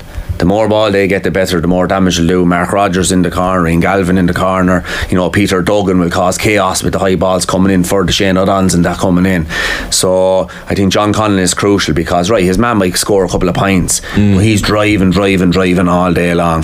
Plus, he's the spiritual leader of that Clare team. If Lohan is the spiritual leader on the sideline, John Conlon is definitely on the team. Tony Kelly will get the scores and he'll drive him from forward line, but in the backs, people love a back that comes out with the ball and you know creates huge you know opportunities for the forwards and Conlon is definitely that man. We seen him in the first time when his brother's wedding the, the huge scenes after that when when uh, Conlon was brilliant. But listen you know he'll have his work cut out like um, the half back line McInerney not sure why his injury was before the semi-final in a whole, whole lot about it but, or the Munster final but that half back line is crucial for them.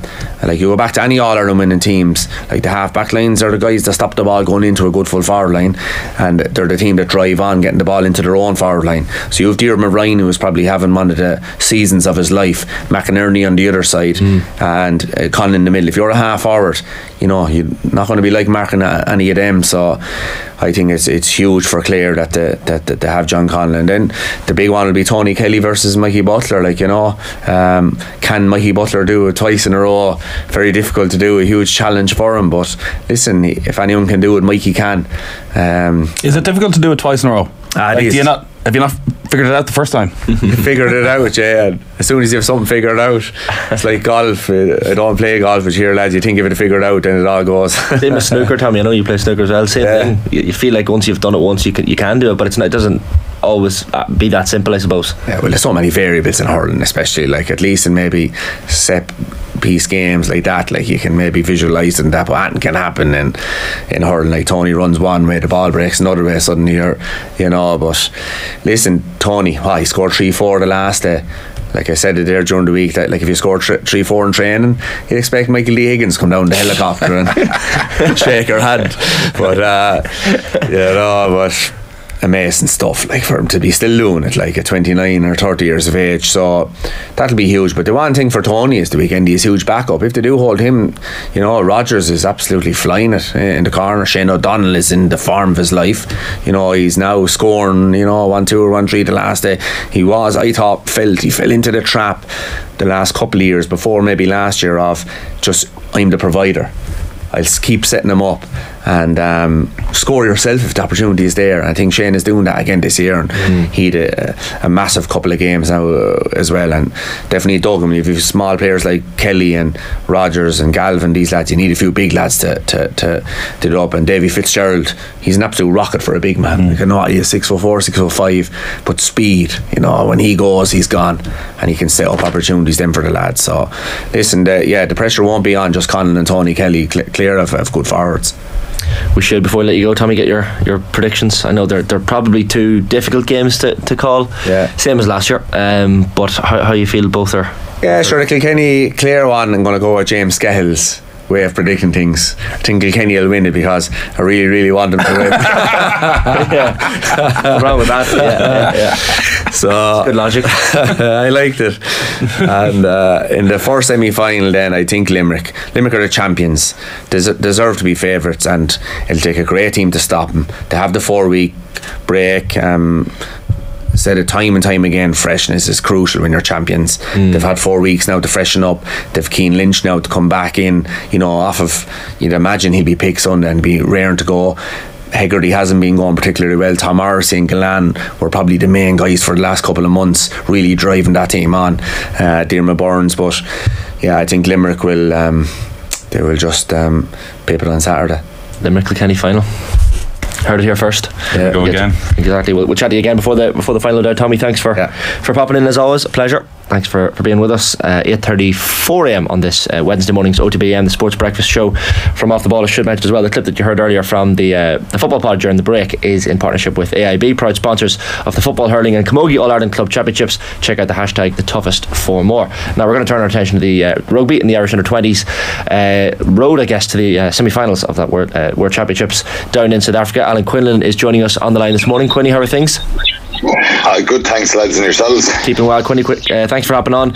Uh, it's been a, it's been a mad tournament for, for more reasons than, than one, Quinny, and of course the Irish team has had to deal with a lot of um, a lot of terribly tragic circumstances around the, the group. Greg Oliver, of course, the uh, father of the uh, Irish scrum half Jack, uh, dying earlier this week after a paragliding accident, and then you've the St Michael's pupils as well, Max Wall and Andrew O'Donnell, dying on, in separate incidents on the same holiday in Greece, and I know they would have both been very friendly with different members of this uh, Irish under 20 squad. Uh, it's hard to get their head around it, and, and an unbelievably brave um, performance yesterday under the, the circumstances. Yeah, it was um, obviously really difficult. I think Richie Murphy said that. Um, you know, they, they had to make a decision that, the the night before whether they were actually going to play the game or not, which was um, must have been really difficult. I think the shock and the the the unbelievable sadness that must have been in the group. Um, they must have been rocked by that whole thing, given obviously what happened. Andrew O'Donnell and Max Max um, Max Wall as well. Um, before um, they got the news of, of what happened to one of their teammates' fathers, um, you know, Jack Oliver's dad, Greg. Um, so it was a lot to take, um, particularly when you're dealing with, you know, a, you know, a match number of changes in the side, all that kind of stuff. And you probably think um, the sport isn't important here, and how how are you going to kind of get yourself right to go out and play a match? So um, very emotionally charged situation for them, and um, they handle themselves amazingly well. I think. I think if you go through the performance, of course, there's there's a few mistakes and errors, but that didn't. Um, that didn't matter. I think the fact that they were able to go out onto the field and and get a result, I think, in honour, you know, Andrew O'Donnell, Max Max Wall, and, and Greg Oliver, their families, um, and in particular their their their, their teammate Jack Oliver, who just had, lost his dad in, in tragic circumstances. Um, it's hard to, to actually actually fathom how, how they were able to do that and how they had the energy and kind of um, drive to go out and play a match. Look, I know they're you know, it's a big game. It's uh, it's a big tournament for them. Um, but just to get the heads right, so I think you know the players deserve huge credit for that, Shane themselves. Um, they're young men who you know are learning in life, and uh, you know they're, they're they're it's it's a lot to take for them. But I think Richie Murphy, who's done an amazing job with this group anyway in the last two seasons. Um, you know his guidance and the rest of his coaches and, and the management of the Ireland under twenties. Um, I'm sure they did a great job in, in trying to give give them support, but also giving them the option. And um, Richie Murphy kind of did give them the option whether they wanted to play or not. And you know they came together and uh, went out and, and got a result that they needed to get to put themselves into the semi-finals. They must be exhausted physically, mentally, emotionally, um, and I, I, was really proud to, to to commentate in that game and really proud to see what they were doing yesterday. Um, as I said, r- incredibly tough situation for those those guys. Greg Oliver, uh, such a terrible tragedy down in South Africa, a former Scotland international, so a fine player in his own right, but uh, went on to become uh, very much a Munster man. Yeah, he was uh, he was around Munster when I was playing there a lot. Um, whether he was doing stuff with the the academy underage players, um, you know, involved in the A team, getting them ready for matches. Um, he was ever present, and and I would see him a lot around the place. Um, he was a lovely fella, uh, quiet, unassuming. Um, and very popular with a lot of young players coming through because he would have been involved in, in their development and their skill development and um, yeah it's it's it's just it's it's hard to fathom what what how this happened and why it happened and and that it actually happens really you know when you know, I think I was looking at the crowd yesterday, Nathan, and, and you see some, you see the parents in the crowd, and I actually felt for them because, you know, I know from my my own parents going to matches when I was younger, um, they become friends, the other parents, and and they create a bond, and they kind of. Uh, my mum still has that with some of my ex teammates' parents. Um, they're getting older. You know, it's been a while since we all played together, but it's a lovely kind of part of of being um, you know going on that journey with you see your parents connect with the other parents and looking at the crowd yesterday like they they they were even their celebrations for some of the tries that Ireland scored was it was subdued because um, Greg would have been part of that group for the last um, period of time himself and his wife. And I'm sure they're absolutely rocked and devastated by that as well. That's you know, a part, someone part of their group um, supporting the team. Um, so yeah, it's it's it's hard to it's hard to put it into words really, and and you know my thoughts and prayers are with with his family. Um, I can't bear thinking what it's been like for for Jack Oliver to to get that news. You know, last week he came off the bench against Australia and.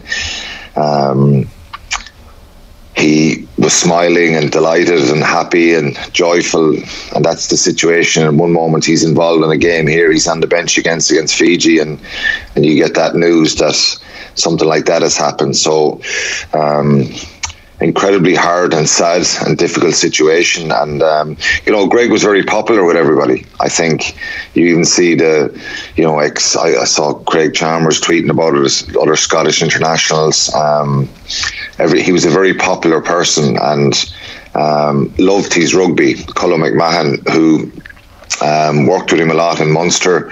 Um, you know, I read a statement from Colm yesterday, um, speaking about you know his enthusiasm for the game.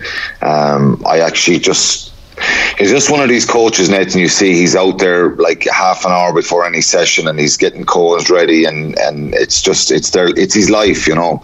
And he's had various different roles with the Ireland under twenties. Garryowen was his club, uh, Munster. He coached Cashel at one stage. Um, his enthusiasm and love for the game um, was second to none, and you know, for for for a, a, guy like that to go and support your son and kind of go on a trip of a lifetime, and and and for that to happen is is just incredibly unfortunate and, and sad. Um, but he was a very popular fella, and uh, it's a really tough situation for everybody. Yeah, definitely, and echo those sentiments as well. Quinny, the thoughts of everyone at uh, off the baller with the families of Max Wall and Andrew O'Donnell and Greg Oliver as well. So that's a, a tragedy on an unimaginable scale for the for the team that, that are over there as well, and for those families in particular. Um, and on the pitch, and it look, it, it feels almost um, shallow to be talking about matters on pitch after uh, such a tragic week. But um, 47 points to 27 win over Fiji. Ireland now advanced to the to the semi-finals of this World Under 20 Rugby Championship as winners of their pool as well. Um, and they showed so much strength yesterday, Quinny. But to, to, to race into that lead and then I, I guess to to stay composed when Fiji came back into the game was one of the more impressive things. Yeah, one of, one of the attributes and, and, and qualities you decide, Shane, is is their is their character and the resilience. They've shown that uh, throughout the Six Nations when they've been under pressure. When you know, I go right back to the first game um, against Wales when Wales kind of went ahead a few times in that game in that first half and looked like they were turning the tides and going to pull away. Um, you know, there's no panic in this group. They went up the field and, and got the the scores when they needed to, and they did that throughout the championship. And again in this tournament, you know, you go back to that game against England to start when they drew. Um, you know they they came back twice in the game, got a, a good lead in the in the 65th minute, got England took the lead and and uh, or England came back and leveled it and looked like they were going to win it.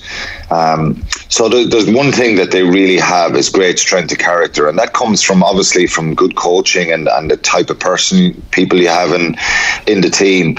Um, but they have a lot of good leaders as well who don't panic. So you know, yesterday, obviously, we've we've spoken about how difficult it would, would have been, given what was on their minds. Um, but you know, there was no panic again in that second half. The game got a bit loose. They were comfortable at half time. Um, their line out and their kickoff receipts were, were poor yesterday, and that caused them problems. When when when their structure was good, I think they were able to, you know, keep, deny Fiji of any sort of possession, and uh, the game opened up a little bit. And then the two tries after hi- half time, and it's back to within four points. You're thinking this is this is trouble for Ireland, um, but they kicked on again and and and um, got the scores and the win that they they rightly deserved, really, I think. And, um, you know, they could feel very good about themselves. I'm sure they were, as I said, emotionally drained. Um, there was a lot of changes in that side yesterday, which is always a risky situation for any team. But Richie Murphy had to make those changes given the, the quick turnaround of these matches. Um, so, you know, there was a few mistakes, but there was a lot of players who stepped up again and and showed that you know they've big futures in front of themselves. And um, on that, Quinny, on those players that, that have stood up, uh, because you know you've spoken a lot there about the character of uh, the game yesterday, but also like those first couple of games, the conditions were so tough. Like this was a group that just had to stick together and really grind it out. But when you look at the individuals and the skill sets that they're bringing, who are the who are the guys that have stood out in the first few games? Well, uh, you know, we've highlighted Brian Gleeson, and and again. Um, he was the one forward that started from from uh, from the Australian game. There was seven seven different guys in there. Um, yesterday, I think. Um, I think they've shown their depth in the squad. You know, um, Danny Sheehan played at hooker, Fiachna Barrett. Um, they're guys who've been coming off the bench in, in, in the Six Nations. Um, Evan O'Connell, um, really good yesterday um, as well. And um, then you had Joe Hopes coming into the side. Um, and and uh, Dan Barron, Dan Barron making his debut. I thought he played really well. So these are the guys that played yesterday. But if you if you if you kind of look at the big names who've been delivering, like say they're big names, you know, Conor O'Tighearnaigh, uh, Ruadhán Quinn, Brian Gleeson, uh, James McNabney. who Unfortunately, he's going to miss the. You know, he he may be back if they get to a final. He got suspended. Um, the captain has been brilliant, Gus McCarthy. You know, he's he's been a real leader for them. Um, John Devine in the centre. I said that in commentary. You know, he's he's been ever present in this team and, and a superb player. Um, so there's a lot of them there. There's, you know, I think Andrew Osborne, you, Gavin, these guys, Henry McErlean, the fullback, superb. Um, they've got continuity, and I think, look, re- the reality is they know his best team are, are, the likes of those guys that I've mentioned.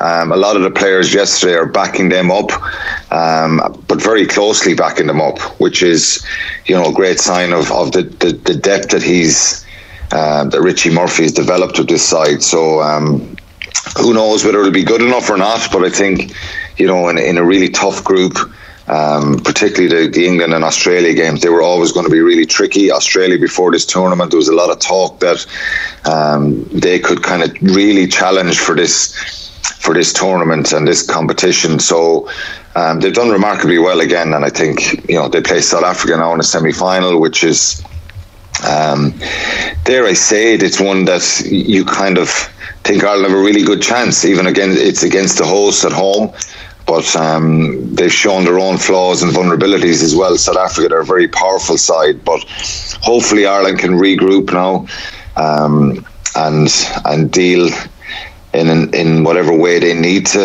in the next couple of days and get ready for that game on Sunday.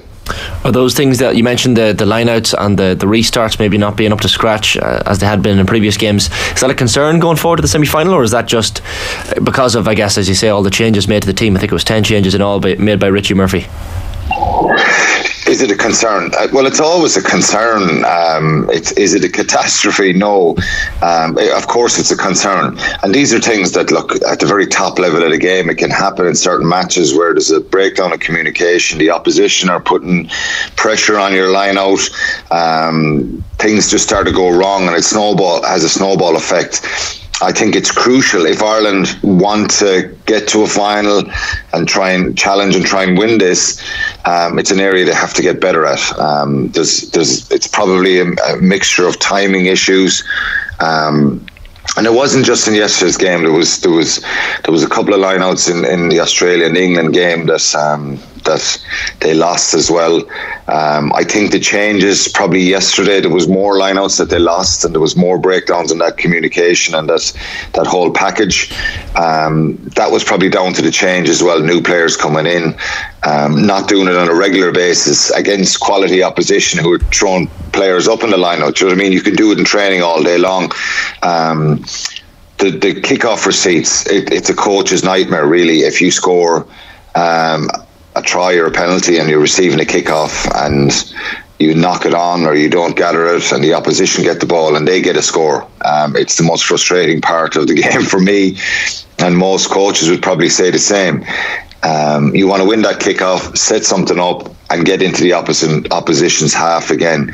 That can be draining as a player when teams do that really well, and good teams do that. So um, they can fix it. Of course they can. They've got to work on this, um, get their timing right. Um, sometimes simplify things. I think they're a very brave side and they've a lot of courage. So you know they throw a lot of balls to the tail of the line, whereas on occasions um, it's maybe just about winning it at the front sometimes and being pragmatic. And, you know, I spoke after the England game, maybe a little bit of game management around the kicking game, particularly now if you're you're in you're you're in a semi final. Um, territory is vital. Doing the simple things really well. It sounds boring because I think they can play, and we've seen that um, but they're the things that they need to be better at going forward. And, you know, I think if they can get into a final, France are obviously everybody's favourites and three bonus point wins. They've demolished all three three oppositions that they've played against. Um, they look incredibly powerful. Um, but if Ireland were to get there and, um, you know, it'd be a wonderful achievement and they could have a real crack at it. But obviously, it's got to got to play a good South African side first. Um, but I think you know being in a semi final is, is is a really good return so far. But they'll want more. Before we let you go, Quinny, we should ask you about this uh, new biennial tournament for the Six Nations and, and SANZAAR teams. So, big changes to the to the rugby calendar on the horizon. Uh, so, this is going to come in from 2026, we're told. Um, and Six Nations working with Sanzar, this organisation, which includes South Africa, New Zealand, Australia, and Argentina. Uh, this is going to take place in the existing July and November international windows.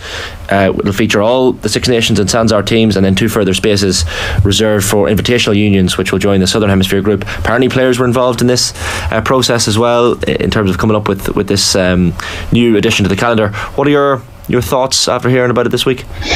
Yeah, it's not completely ratified yet. Obviously, it goes to the World Rugby Council meeting in October, I think, and it, it will be ratified. I think it will be. Um, I think there's mixed views, obviously. I think, particularly if you look online, um, there's a lot of concern around tier two nations. Um, that you know they won't get to play the top nations for potentially four years. I, I've seen regular comments saying that, you know, Georgia, who their under 20s did really well, uh, they beat Argentina, they just missed out in points difference of, of getting into the semi finals.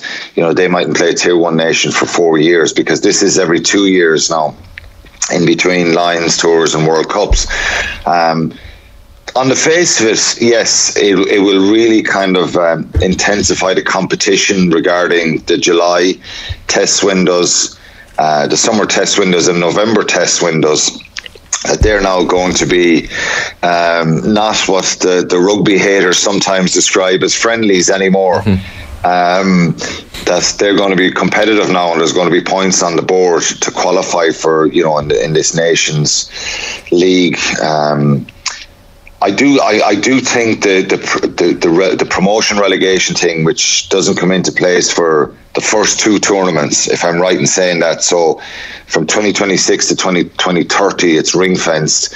Um, I would have brought the promotion relegation into it straight away. Um, and give those tier two nations um, an opportunity to, you know, to, to challenge and improve. So I think, look, the, the rugby will be better. Um, it will be more competitive in a sense that there's really something on the line now. You know, I played in te- the test matches many times, and they never felt like friendlies to me. Uh, but I think it is an opportunity to grow the game, but they must World Rugby must not forget about the tier two nations because um, it's it's to to make the improve the game, which uh, and to uh, improve its appeal globally. I think is part of the reason they're doing this, but.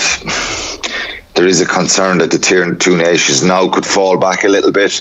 There'll obviously be money TV rights from this. Um, it's been driven by Six Nations and Sanzar.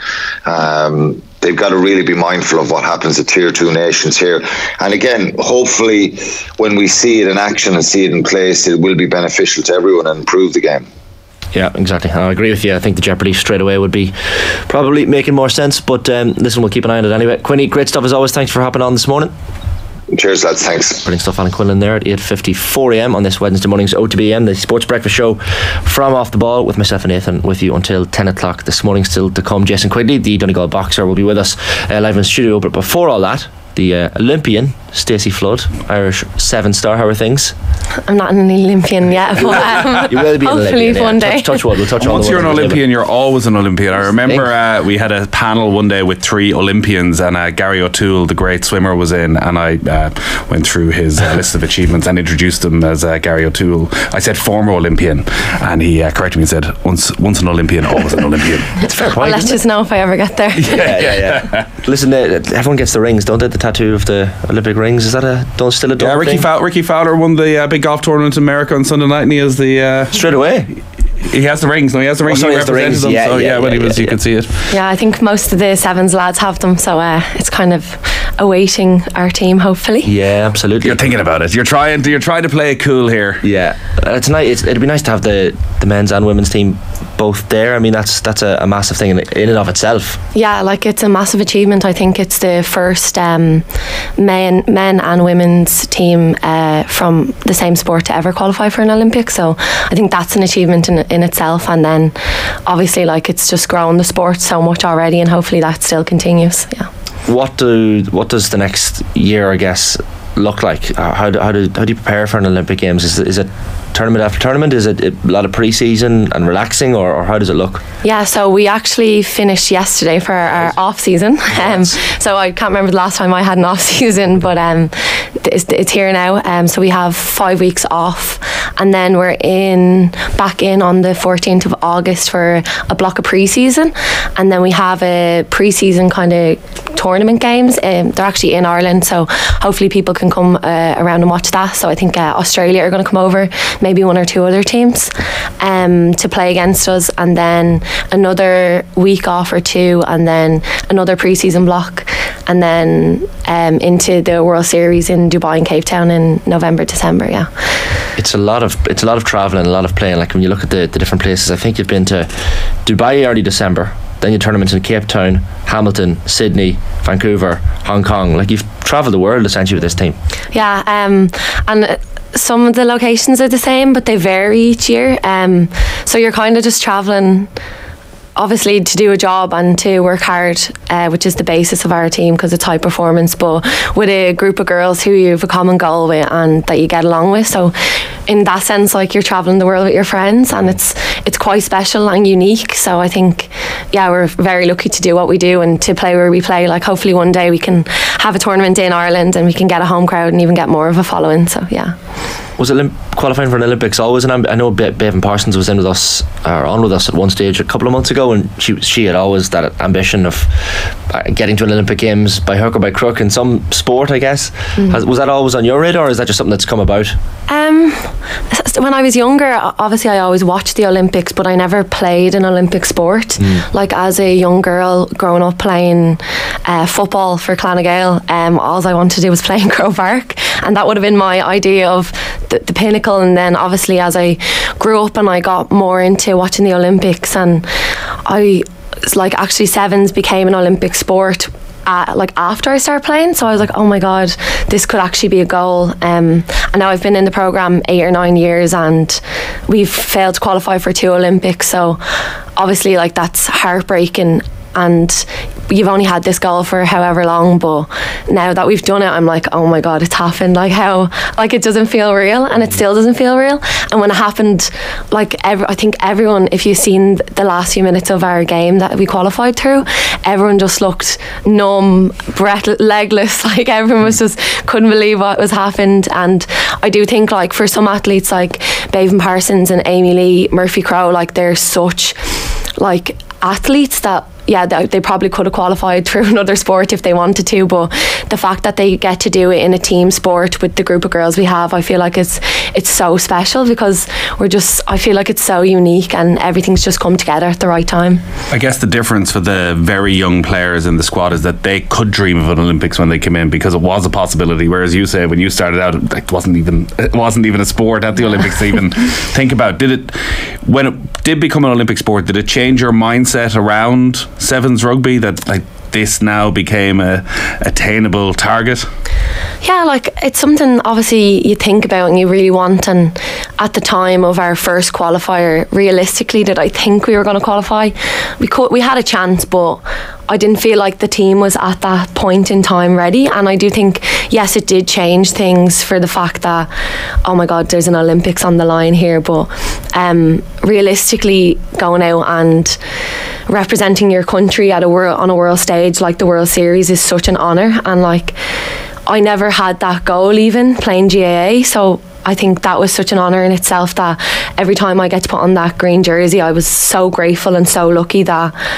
And now I could do that at an Olympics with um, like a whole group of other athletes and everyone's like going for the same goal for Olympic medals. So I think that's even more special because it's on a bigger scale now. You probably spent a lot of time out in the high performance centre out in uh, Abbottstown. So there's a lot of Olympians, uh, whether it's uh, the men's team or just in various different codes, hanging around. And uh, I think it was Ellen Keane said one of the best things is you're just talking to people in that high performance mindset. Have you spoken to people already about Yeah. what it's actually like? Yeah, it's funny because that's um, all the like individual athletes uh, training Sport Ireland, and we have like a different building uh, for the Irish Irish rugby. Um, so we actually don't see them day to day. We're like just in our little bubble, if you want to call it. But um, I know that the Sport Ireland and the IRFU are working on getting more meetings or like once a week breakfasts with those people, with those other athletes, which will be really beneficial for us.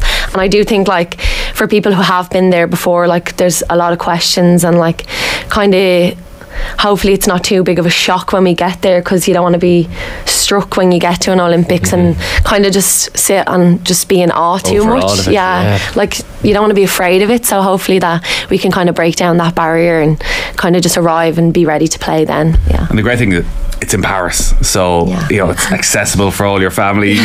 The the credit union loans will be manageable enough for everybody. So yeah, hundred percent. Every uh, I have a big family. I come from uh, six kids. I'm the youngest of six, so um, we've I, we've really big uh, lot of support. tickets you gotta sort out. yeah. No, well, so the thing was they had got their tickets before we qualified because it's like a a lottery system. So you have to uh, you have to put your name in, and then you get a lottery, and then you can buy your tickets within like 38 hours or 48 hours or whatever, and. Uh, they put it in the family group and I was like no one put this in the family group. I do not want to see it. I was like get it away from me. I don't want to see anything about tickets. I was like we're not there yet. We haven't qualified. Um, I was like make a separate group. And then obviously your mum and dad like um, I was at home and they were like Stacey we need your help. And I was like no. I was like, I was like ring somebody else. I'm not helping. It's like buy tickets for this Um, just the fear of it, and it's such an Irish thing to not have that like sense of. Oh yeah, it'd be grand. Like you know, the Yeah, confidence. you don't wanna curse it like, either. Yeah, Yeah. it's totally a curse. Yeah, like, yeah, and you're yeah. like, oh, if I say it out loud, it's not going to happen. Like, whereas like now everyone's like, if you say it out loud, it'll happen. so now I'm like totally swayed. I'm like, if you say it, it's going to happen. But, um, They would have needed uh, to keep the separate uh, WhatsApp group if you hadn't qualified anyways, and they were all over in Paris at Yeah, the games. It was like, what are you doing for the weekend? They're like, Don't oh, I can go to something mind." else. Yeah, yeah. um, but yeah, even this morning they're like putting accommodation in the in the family group, and it's it's crazy money. But like they're putting in the family group, I'm like, stop talking about it. I'm not there yet.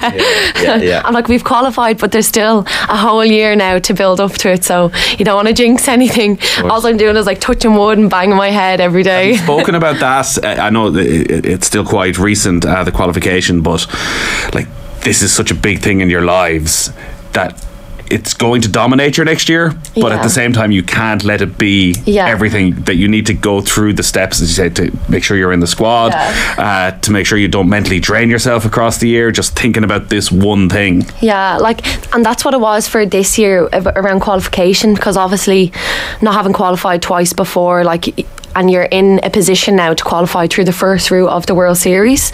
So, like, we went the whole year being like, are we going to qualify? Are we not? And we put ourselves 16 points ahead with three or four tournaments to go. So we're like, oh my God, this is really highly likely. Mm-hmm. And then you're just like getting excited, but you're like, you can't get excited. Then, us being us and making it hard, we dropped out for two tournaments, like dropped down points wise. Last tournament, two points ahead of Fiji, four points ahead of GB. So it's coming down to this last tournament, and we're like, how have we done this to ourselves? But then it was like all part of the story, all part of the journey. Like you couldn't have written it, and then to just go and do it then. And I think that that whole year was what we're going to experience again this year. So putting a name on it like not not speaking about it because if you don't speak about it you'll get there and you'll be literally oh no we're here now and all these feelings come rushing at you. So I like we don't want that to happen and I think we've learned uh, valuable lessons this year with, with qualifying.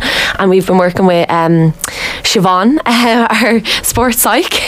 She does wonders for us um so give her a little shout out.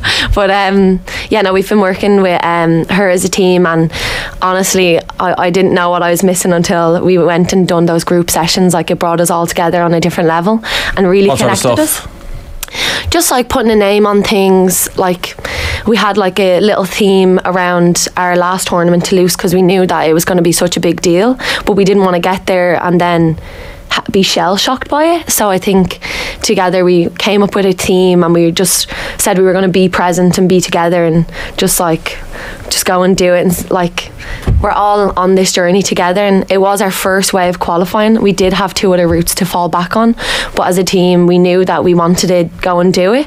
And like i think that meant so much more and us just being connected and being on the same page. We all knew that if everyone's on the same page and we buy in and we're all in like it's gonna happen for us Yeah, the theming thing seems to be something that's cropped up a lot recently. Ronan O'Gara, I know, uses theming a lot in his La Rochelle uh, coaching setups. But that, that's the tough thing about the Olympics as well. Like it's a four-year cycle, so Yeah. like when you, if you don't qualify for two Olympic games, all of a sudden you're you're talking eight years. all of a sudden you're 26 years old There you go. and then you're on the third cycle Yeah. yeah It's mad though, but that that must add a little bit of pressure to it as well.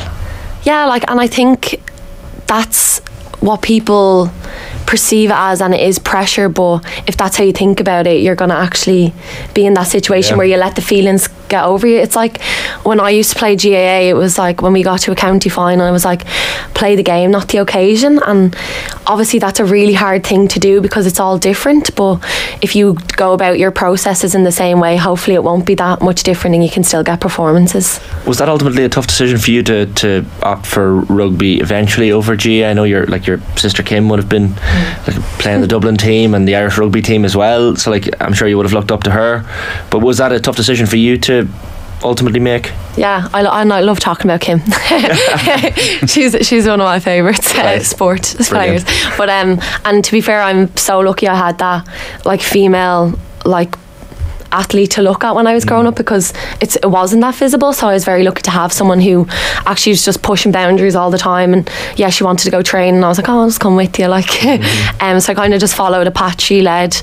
Um, but yeah, like I feel like it was natural for me to go towards rugby then when I started playing and the opportunities I was given. It was quite a natural journey and path for me to take. I didn't start playing rugby till I was 16, 17, where I played GAA since I was eight years eight years of age um, and I played a bit of soccer as well but um, I didn't have a first touch so I was no good. Um, but like I was quite lucky that Kim started rugby three or four years before me and I was like oh no I don't really think it's for me. Um, I just want to play GA and she was like oh no like sevens isn't too like uh, too much contact like it's just all one-on-ones it's like quite a skillful fast game. Like your your GA skills will transfer over and I was I didn't believe her I'm not gonna lie. I, mm. I didn't actually believe her and then I saw her training away and she was getting really fit and I was like oh maybe I'll do it on the off season of GAA to get fit. Like this is totally like what I was thinking as like 16 17 year old I was like oh Dublin minor like I'll stay fit off on the off season. I'll I'll go and play rugby sevens. Like and I that's what I started with. I didn't start with 15 so that's why I like it's my first love of rugby is sevens. Um, and I was quite lucky that I got opportunities when I was younger. So I was playing for the Dublin minors and at the same time I was doing underage sevens um, and going playing in the school games in the UK and then we played in Sweden in the European Championships and then from there I went straight into the senior squad and I went to a trip to San Diego. San Diego uh, 18 people got to go because the coach changed at the time. And I was so lucky because I was like oh my god I'm over the other side of the world. And I'm with all these girls and they're all so driven and so competitive and I'm like this is a great lifestyle. And I then I was sold I was like oh I'm gonna have to put GAA on the back foot and try try my hand at this because if I can have a chance to represent my country like that's such a big achievement. And then me and Kim actually ended up getting capped for sevens together and playing on the series for a year or two together. So that's obviously such an achievement for both of us but it felt so natural because we grew up playing like um, Gaelic games together and stuff. So it's, Proud it's parents really there, I nice imagine. I'm not saying I'm the favourite child or anything but Are you the youngest of six? You have to be. The, like the, uh, my family, the brother is the youngest of four, and he's definitely the favourite. I think the youngest. But you're particularly bitter about that, though. You bring Yeah. up quite a lot. He's an inch taller than me as well, so I'm actually the tallest girl Oh, in yeah. the family, but yeah. Not all, No, I'd say my brother's my mom's favourite. My brother, the youngest boy, is my mom's favourite, but my dad does have a soft spot for me now, I have The to parents say. are watching. I guarantee they won't. They won't admit that, but uh, they'll be keen. No, they to- never admit it, but No. he never says no. Well, there you go. Yeah, yeah. No, no denial. Uh, well, listen, Stacey, it's a, it's a massive achievement, and uh, fair play to you all for, for, for achieving it. And I know there's going to be a long build up now for the next year, but enjoy it and and I'll check in before. Yeah. Did you get to play in Croke Park? No. Still on the list. Kim right? did though. She did, right, yeah, right, Kim right. did. One day, hopefully, Yeah. maybe I'll get like the um, one of those charity games. Well, I'll tell you what, no, get yourself an Olympic medal and they'll bring you onto the pitch at uh, Yeah, yeah, yeah. All Ireland final.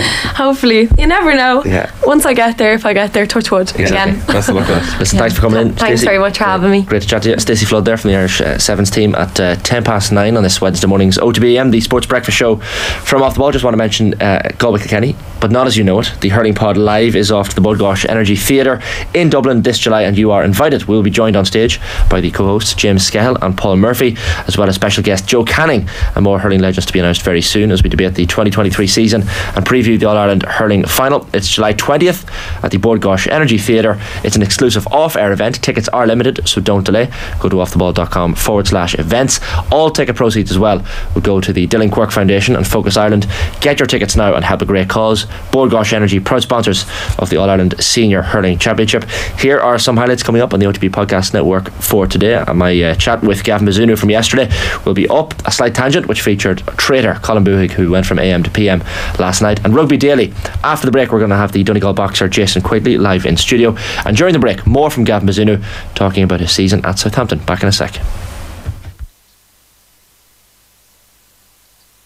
You're listening to OTB AM. Have you subscribed to the OTB Football Podcast? I think Brendan Rodgers is a good manager, and I know people don't like him because he has self confidence, but his teams play good football. If there was an Ireland job in the future, so I don't know, I think Brendan Rodgers as a future Ireland manager, I, I could get behind this. Subscribe now to the OTB Football Podcast stream wherever you get your podcasts and download the OTB Sports app. Uh, how do you feel now that the, the club season is over? I mean, uh, debut season with Southampton. I think you played maybe the first 32, 33 league games, which was quite incredible. Um, and, then, of course, the tail end of the season was a bit more difficult after that, that three-all draw um, with Arsenal. I think it was. Um, but but how do you assess the season as a whole? A lot of experience under your belt, I guess, is one way to look at it. Yeah, definitely a lot of experience. I think the main feeling is obviously disappointment for for the end result of being relegated, um, and I think that's a burden that's placed not just on me but on the on the whole team. And I think that's uh, going to drive us uh, and give us that hunger to hopefully go in next season and get us back to where we belong. But on a personal note, I think it was a very very good season for me to be able to get the amount of games that I was able to get, get the experience that I was able to get, and um, you know also to prove that I I can play at that level. Some of my best games were against some of the top teams in the world. So for me, it was a, a proven point to me and some other people that I was capable of playing that level. OTB AM. The Sports Breakfast Show from Off the Ball. 13 minutes past 9 on this Wednesday morning's OTB AM, the Sports Breakfast Show from Off the Ball with myself and Nathan until 10 o'clock. Delighted to have the Donegal boxer Jason Quigley live in studio back in with us. How are you keeping? Good lad, good. Delighted to be back in with you. How's things? Keeping well. You were at uh, Madison Square Garden. Edgar Berlanga uh, retained the NABO Super Middleweight title, but a, a, really impressive performance. I think everyone will agree from, from yourself. How do you feel off the back of it? Yeah, um, coming around a bit now to it, it was. Um, obviously, you know, it was disappointing. Yeah. Like, um, coming away at the, the wrong end of the decision. But since I've come home and since, you know, I have read a few comments and listened to a few people and not too many people because sometimes you can listen to too much, but, um, you know, people close to me and people that opinion that I respect. Um, it's weird because everyone's coming up saying, well done, congratulations. Mm. Do you know, um, I was just so happy with the performance um, in terms of. I think I put a bit of respect and a, a marker back on my name again. Mm. You know, after the Andrade fight, in boxing, there's a great saying: "You're only as good as your last fight." you know, and I'm sure there's a lot of people out there that'll resonate with. And for me, you know, with Andrade fight, yes, it was great fighting for a world title, and and there's not many people get to do that, but going out the way that I did, it just didn't sit right with me. Mm. And you know, people kind of hold you to that. That oh, I fought for a world title, but it was over in two rounds or whatever. You know, so I really wanted to put a marker back on my name, put a bit of respect back on my name, and I believe that I did that with the last fight and the last performance. You know, in Madison Square Garden. That respect that you were felt a little bit of have been lost after that fight. Where was that? Because I think you know in this country people have huge admiration for the way you go about your business. Is that is that within boxing circles or actually is it in your head? Um, I think it could be a wee bit of both. To be honest, um, like. I'm a firm believer, and you know, I've really over the last couple of years tried to get to that place where I don't really let the opinion of others or anybody else's comments kind of hamper me or, or get to me. But this is this is the sport that I do. Like, you know, I've done this sport since I was 11, 10 years of age. I've dedicated and sacrificed my whole life to this sport. And to reach the pinnacle of fighting for a world title and coming away maybe not on the right end of it and kind of seeing that little bit of respect, that little bit of uh, credit taken away because of the, the result and the way the way that I lost that fight. I suppose it just didn't sit too well with me, and I think it was inside the boxing circle, probably more so than outside the boxing circle. Um, but yeah, I really wanted to, to you know to put that mark down again and to be like you know this is boxing. These things mm. can happen. Like you know, one shot can change everything, and that's what happened in Andrade fight. But you know, I wanted to come back and show my worth, show show people what what I'm capable of and how good I am. Was that? the Fir- am I right in saying that's the first time you've gone twelve rounds? Yeah, first time I've gone twelve rounds. Um, Is that a big difference? Like, how, or how did it feel to to do it for the first time? It's actually kind of enjoyable, right? I don't know anybody watching it. might, like the pain, yeah, yeah, might think a little bit different, but you know, there's a there's a sense of like achievement going twelve rounds, like because that is the championship mm. rounds. Like twelve rounds is championship rounds, and in terms of fitness wise and in terms of you know how you're feeling, it just like you've done all the work in the gym. And once it gets that 10 round, you know, you've done 10 rounds before, you're like, two rounds. You always have two rounds in the bag. Like, you know, you can always pull it out of somewhere. Whereas for me, you know, uh, I, I think we got into the seventh or eighth round and I was like, Jesus is going, you know, this is going smooth. Like, this is going, feeling good, fresh, plenty of energy, plenty of fitness about me. So, um, yeah, I loved, uh, I enjoyed going the 12 rounds now, definitely. Does it? Does the fitness have to be? Do you have to ratchet that up a bit because you were in some nick, like even in the, the weigh-ins and stuff, Aye. like uh, maybe maybe similar to previous fights, but certainly to the untrained eye, it looked like you were in uh, serious nick. to be honest, I kind of got asked this question um, before, you know, a couple of days ago, and it's been strange because I've actually not toned back my training, hmm. but have been more. I suppose you could say more assertive with the training that I do do, and I think that's the confidence in the team that I have around me. You know, Whereas before, I was always training. You know, you're always thinking that you have to be doing this, and you know, you, you, resting was like something lazy. Do you know what I mean? Whereas resting is one of the most important things if you're training. And if, if there is any young kids or anything out there watching this, like, it's not all about how much you do. It's how good you do what you do do. Yeah, Do you know yeah, what I mean? Um, and th- and that was something for me. Like when I was growing up, like all sometimes, like I said, Dandy in this camp, like I believe sometimes that maybe I was overtrained previously because and that's no fault to coaches or anything like that that's my own fault like always thinking that overtrained physically and mentally because always thinking that I gotta be going going going all the time like taking a rest no that's no good you know you gotta keep pounding it all the time. So for me um this the structure of the training kind of changed maybe not as many sessions but the sessions that I do do are 100% and they're fully committed fully focused. And I think that's what kind of got me into that fight and into into the way in the ring everything in such great shape because you know I was mentally fresh and physically fresh. Mm. I assume you're better conserving energy during a fight as well, with a bit of experience. definitely you know whenever you're whenever you're young and just want everything here now and just right in front of you. You know you can you can get caught up in the moment. Um, you can get caught up in things big time during a fight because in a fight so many things can happen. So many things can can come into play that you're not ready for like cuts knockdowns um, fight might be going the way that you thought it would be going. And that can panic fighters and, and yes it has panicked me in the past but you know I'm in a real great position now uh, with the team that I have around me. As I was saying you know great confidence great stability great foundation there that when I get in there now I know I have 12 rounds and in my last fight there, like got knocked down. I think it was the third round, and right away I was like, legs are good, head's not dizzy. Boom, I'm 100. percent Right. Looked into the corner, dead on. We're good. Like, How much? uh, Because I've never stood in a ring and I never intend to stand in a ring. I will get you in someday. Uh, that wouldn't be good for anybody. yeah, yeah, yeah.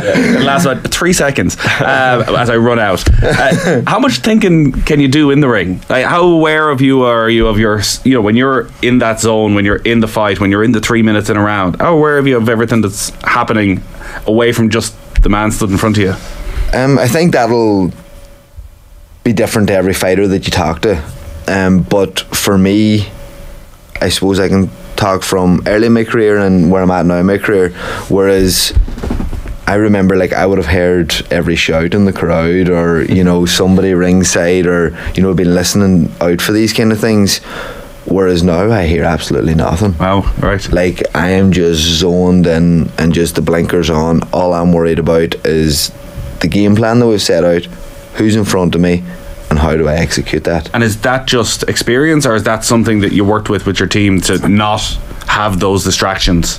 That is experience and stuff that I've worked on with my team. You know, this is stuff that we have worked on massively over the last probably two years. And I can really start seeing it coming to fruition now. Mm. You know, I can really start seeing it there's no other evidence than whenever you go and do it and you can feel it and you can see it and you can see the the positive side of it and the, the effects of it. So for me, it was um, it, it it definitely is something you know.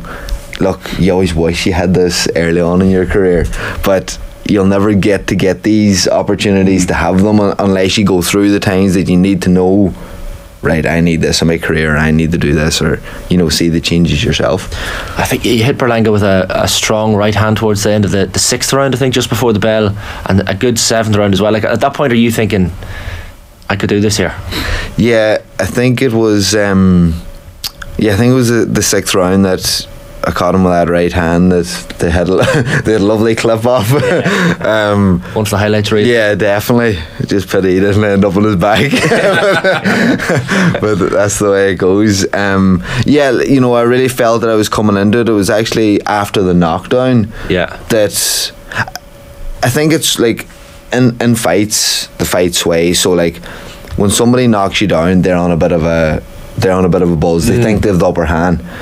And next thing after the knockdown, and I come out to him, and I have a strong posture. I'm looking at him. I'm like, let's go here. There's a fight on.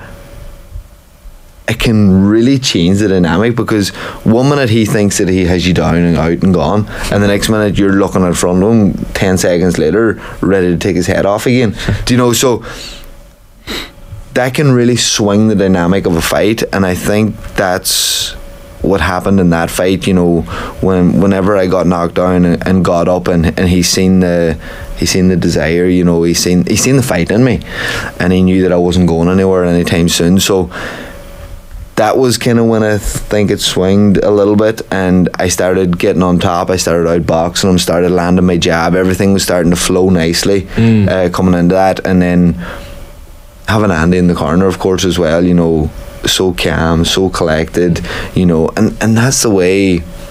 Maybe all our fighters are different, but to get a message across, to get your your fighter to listen to you, to hear you, you know, if you come in roaring and shouting, right away he's going to panic. He's going to go all over the place. He's going, Yeah. "Geez, what's going on here?" Mm-hmm. Whereas you know, you come in and you sit down and you talk to him as if you're having a coffee, and you know, like that's when you start listening. That's when you absorb. That's when you take everything in, and that is what Andy's so great at.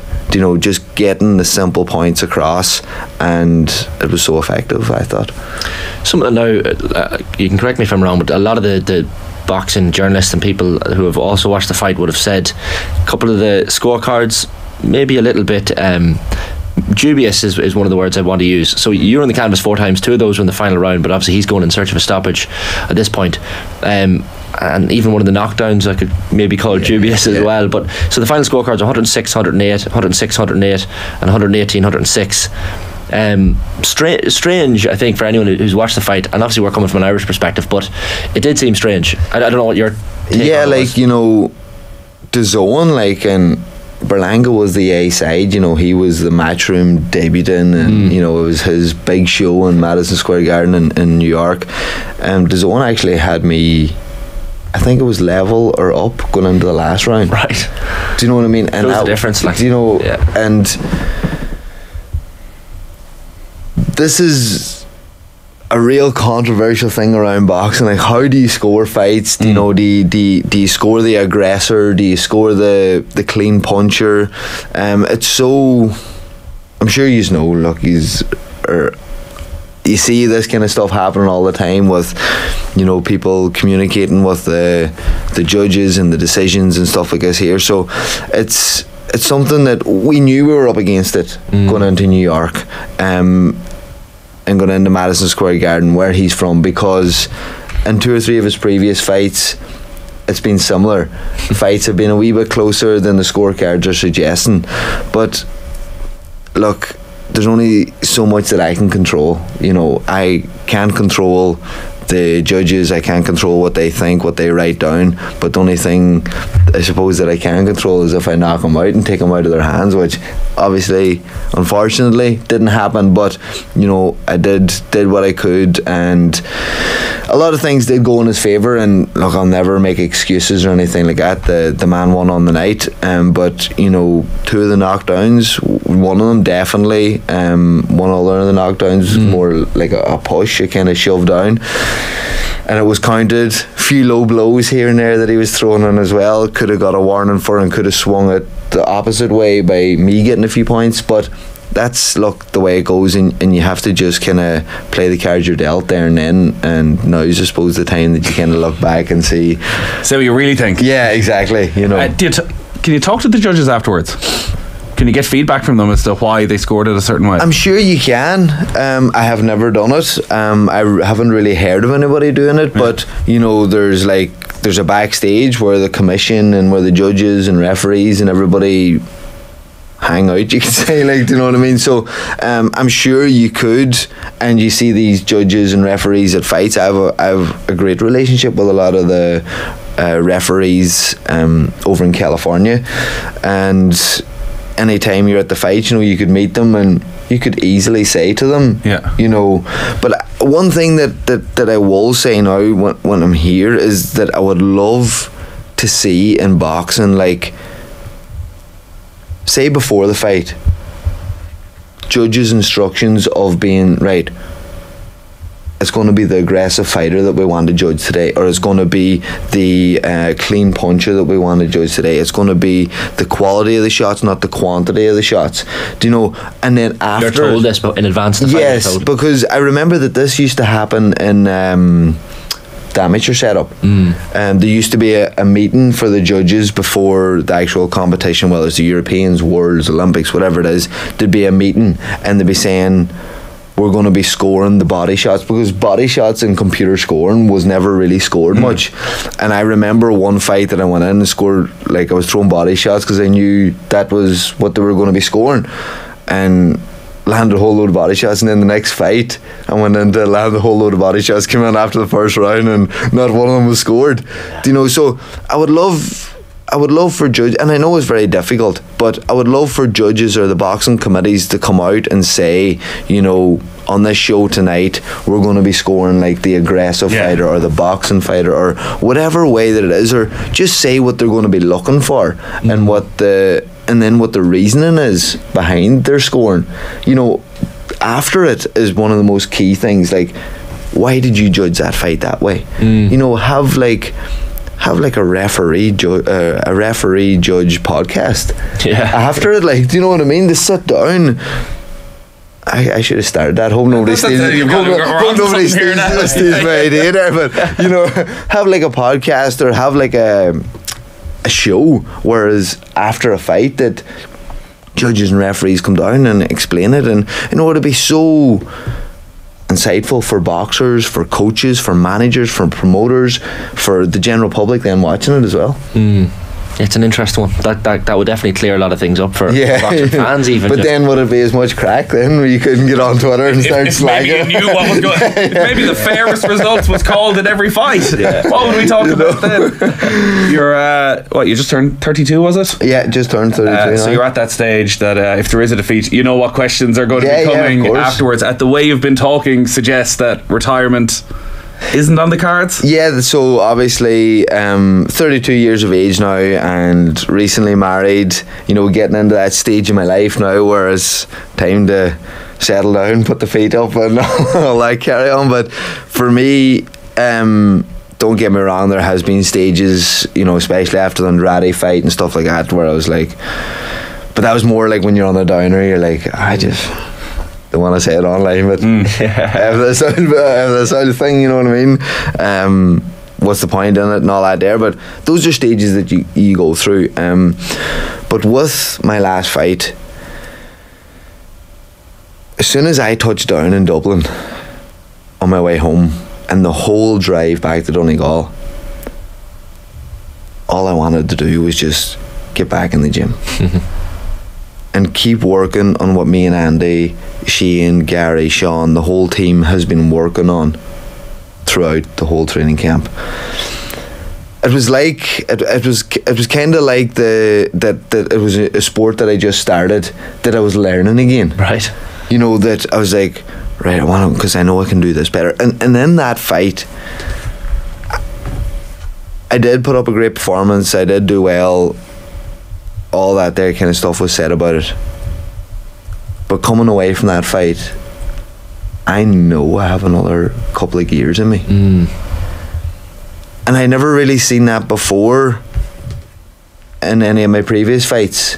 Whereas this one, I seen you know, if I can continue these training camps, continue fighting frequently, I know I can get another few gears out of me.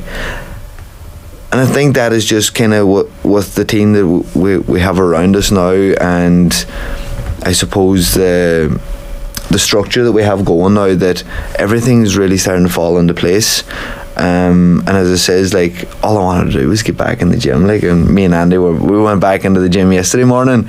You know, did a few things and just kind of went over some of the stuff that we that we did do well in the fight, and you know, on the pads, and and it just felt good. Like you know, as it says, it feels like I'm learning something again, and I have a real kind of desire to get even better. And I never thought I'd be saying this at 32 years of age and at this stage of my career. But incredible, really, isn't it? Like, Yeah. I don't think anyone who's ever come into contact with Andy Lee hasn't come away from a conversation yeah. feeling better about themselves and better yeah. about life. But the way you're talking about him throughout this conversation, it, it sounds as though he's had a huge impact on you. I never really, um, I never really, I suppose, understood or realized the effect that he did have on me until he was actually there in America with me for that fight. Um, because you know when you're in LA and you're you know doing a lot of it on your own. Do you know what I mean? You're you're kind of calling the shots about where you're going to eat and where you're going to train and do this here. Like, because in professional boxing, you're kind of your own boss sometimes, and kind of final say is on you. Whereas this time around, you know, with Andy, Shane, Gary, Sean, we, we had a great full team. April was even there, you know, part of the team, and it was just fell into place lovely. And Andy, you know, was I don't want to say taking control, but you know, he was calling the shots in terms of like where we would eat, you know, where we would go training, you know, what time we doing this, what time. Whereas all that just took the the mental energy uh, off of me, like you know, trying to think Mhm. about this, trying to think about that. Whereas I was just able to chill in the room with April, watch a bit of Netflix. It was, it was Yeah, yeah, and and that's the positive distractions that you need, and that's something that me and Shane have been working on. You know, in between, like you don't need to be hemmed up about the fight 24 7 because you'll be drained like you know you just need to be switched on ready to go whenever the time comes. And uh, Shane O'Sullivan he's a, um, a good friend of mine firstly that we have uh, we have on the team now um, sports psychology and everything you know so uh, Shane's been been a massive addition to the team as well. And uh, yeah we've all blended in brilliantly together and we had a look it was a great week in New York you know we really had uh, we really had good fun as well while we were there. Uh, we enjoyed it you know the the the face off the press conferences. It was probably my first time as well coming up somebody that's mouthy like. And what was he saying? Uh, he was just he, honest to god like he wasn't making sense at all anytime he was speaking. Like he, like one of the things that he kept saying to me was this is my city this is my city like and I don't know like I did geography at school, like, but I don't know, was he trying to give me a geography lesson? Like, I knew it was in New York, I knew he was from New York, uh, and he just kind of kept saying this stuff over and over again. But it was, uh, I actually really enjoyed it. Like, I, I really, really enjoyed. a bit back. I did, like, but kind of not in a in a mouthy way. Like, I just, you know, like I was like, I know what you're saying. like, Take him uh, to take him to Ballybofey for the rematch and just be like, "This is my town." Aye, ah, exactly. take, him, take him back over here. Yeah. This is this is MacCumhaill Park. the wind blows round. Aye, and what else? He, he kind of said something too. You know, he was just like he loves to talk and he loves to be out there. And I spoke to him after it, and we, it's part of the game. You know, the the hype and the build up and all that. There, I spoke to him after it. Lovely fella down there, good skin. Do you know what I mean? But you know, in the build up to it and all, he's like, yeah, and, and Ireland's my city and all. Like, I'm like, not a city. Like, Ireland's my city. Do you know? But like, That's a laugh in his face. Yeah. it's um but it was good i really enjoyed you know the the, the face off and it was it it brought an extra an extra bit of excitement and bite to it so that definitely You've been great with your time, Jason. I, I, I guess you're looking for that.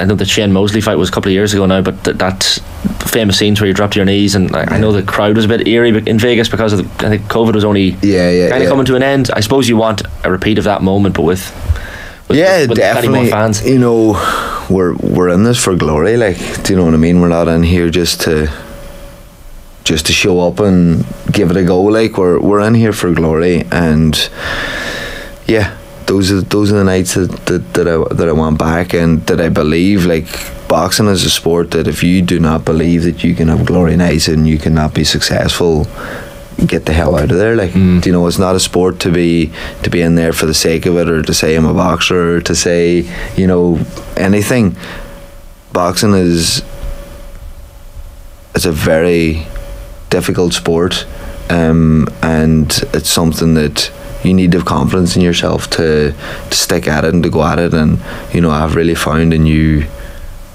a new kind of lease of confidence and a lease of uh, I suppose progression that as it says you know I never thought I'd be saying this at, at this stage of my career and at this age like but yeah it's uh, it's exciting Yeah, sounds like that drive from Dublin Airport to Donegal and unlocked something. definitely. Definitely in your Yeah, head. Yeah, uh, listen, Jason, always a pleasure. Thanks Nice for one. thanks Thank you. Slad. Cheers for having me in. We'll catch up again, no doubt, no doubt- very soon down the line before the next one, maybe. 100% without a doubt. Great stuff. Uh, Jason Quigley there, Donegal Boxer. Great chat as per usual. On tomorrow's show, tomorrow Thursday, myself and Kathleen will be with you, bringing you uh, plenty of preview of Ireland versus France with Maeve de Burka. We'll have All Ireland Hurling semi final build up as well with uh, voices from both Galway and Limerick. And we'll preview Clare Kilkenny on Friday's show as well. Jess Kelly, after coming home from Wimbledon, and Paul Howard, you had to be there live in studio right now. Another Donegal man, Brendan Devenny from last night's show. Have a wonderful Wednesday.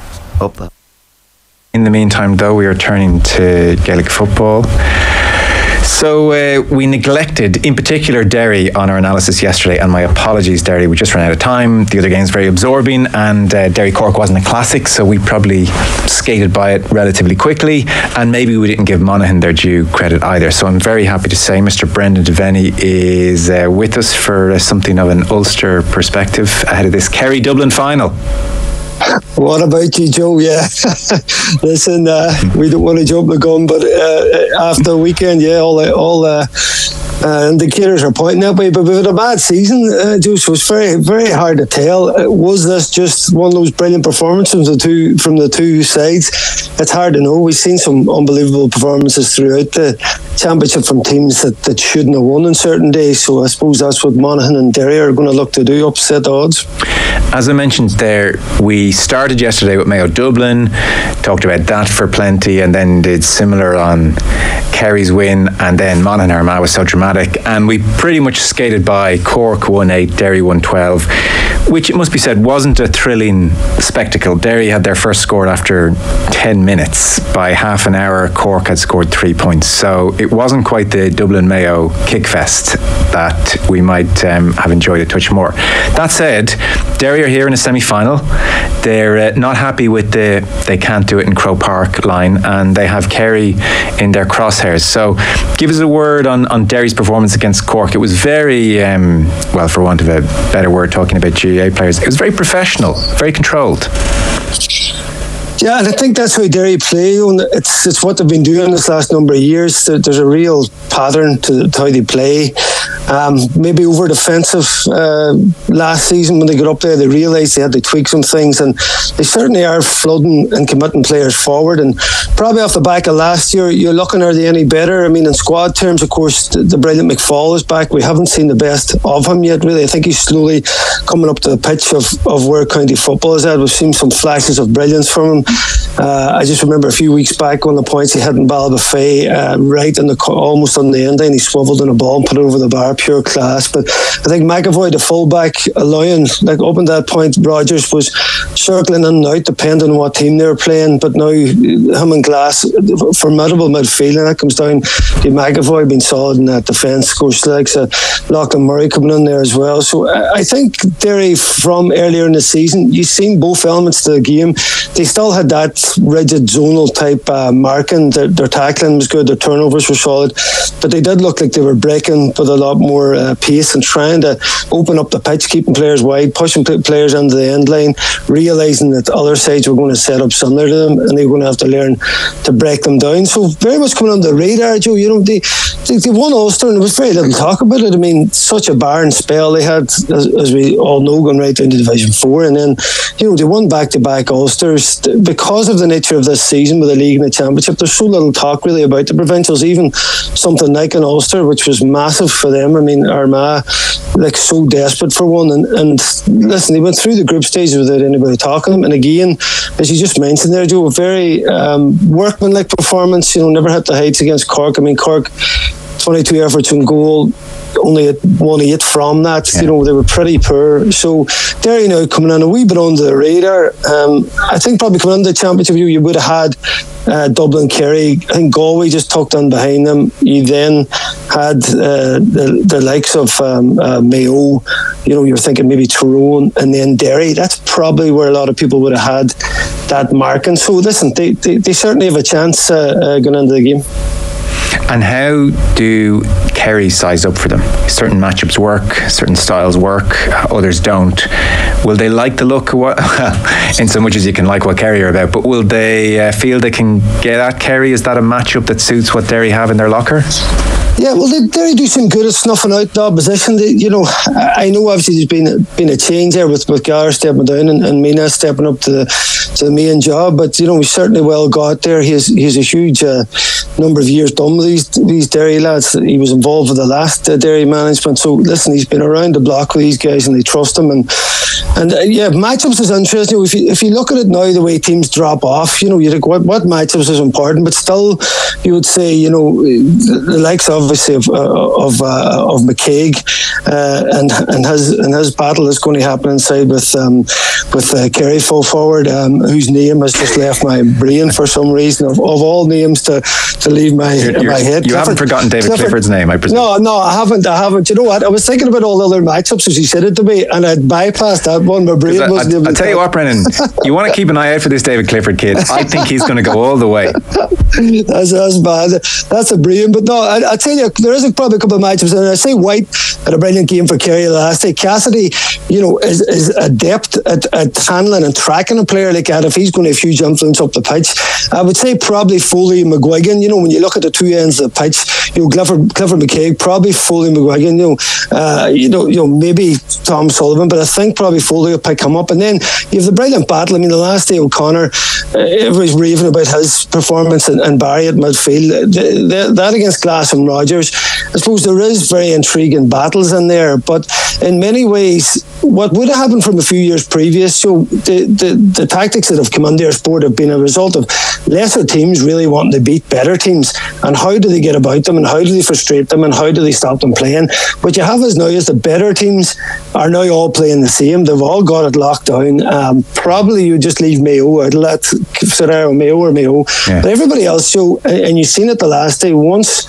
Du- Dublin and Kerry went into that lead. So your fear is in the semi final is that if Dublin and Kerry start to flex their muscles and go go a good few points up, four or five points up, they just sit and they play like an out and out counter attacking team, and it's it's horrible for the opposition. So I think that's the big thing for Derry that that it isn't a case of and you've seen it be thrown the last day, maybe from a couple of years ago, how they went about them went after after Kerry and and and you know Kerry tried this a few times under Peter Peter Keane and it just was all a wee bit miserable. Jack O'Connor, you know, brings in Paddy Tally. They find the right ingredients, so you have that rigid defence, that man-to-man tackling, but then you have the breaking with pace. Hmm. That's what Dublin did so well. And Derry obviously got the defensive side right, Joe, and still there is question marks. Can they punch enough scores going forward against the against the side of Kerry? I've heard people say that if you were to pick anyone to try and marshal David Clifford, there's a chance McKaigue might be top of your list if you could pick anyone in the country. Now, I still sort of don't fancy anyone's chances against Clifford. Admittedly, he scored a point from play the last day. I doubt he's going to do that two games in a row. So, McKaigue versus Clifford, does he have half a chance here at keeping this guy to three, four points? Yeah, it's so funny, Joe, how, how we talk about Clifford, uh, and and you, you you talk about a guy hitting five points, and he, if I come away from Croke Park with five points, one mark, one from play, I've had three frees. I'm, I'm pretty happy with Yeah. my day's work, and, Yeah. and we're, we're we're looking at this guy going, you know, he's had an off day. I mean, his pass for the which led to the goal, you know, we we've we've been raving about as well. So I, I'm thinking with Clifford, you know, I would say he probably likes days like that that he's contributed brilliantly to the goal with a, with a bit, bit of unbelievable skill. He's kind of done his job uh, again, probably in a, in a workman league, and he hasn't set the world on fire. I mean, there was there was a free pull back. Remember the one he planted in the net, too? And I was just looking Yeah, back it should have there been an advantage. advantage should have been played, and, and you look at the ease that he put that ball in the corner of that net. too. I mean, player people just can't do that. Normal forwards just can't do that. He just strokes that ball into the back of the net. So your fear would be, yeah, if he gets if he gets a run uh, against Derry, but as you said, McKaigue unreal. He had probably one slip of Bosch and Gillen in, in Ballybofey, uh, did one of the games of his life now, and maybe that small bit of youth and pace uh, against him. Maybe listen, Chrissy's been there a long, long time, but I don't think Clifford is overly uh, fast in that terms. He obviously is unbelievably physical, so I think yeah, that's that's uh, set for for a huge battle, and uh, that'll have a, a massive bearing in the game. Monaghan and Armagh, after extra time, had 14 points apiece. And then we had the penalties, which were very dramatic, unlike large quotients of the game. We had uh, Darren O'Sullivan on yesterday and Colin Boyle. They were doing our analysis, and I gave it the old uh, cliched, thoughtless question uh, presenters ask people in these circumstances. I said, God, you'd feel very sorry for Armagh. And it was interesting. Darren O'Sullivan was so strong and, and, and, and pointed on it. He said, I don't feel sorry for them at all. They got everything they deserved. They have the forwards to actually play really good football and to go out and win games. And this policy almost of stay in the game tactics is not going to get them anywhere. And I've no sympathy for them, none.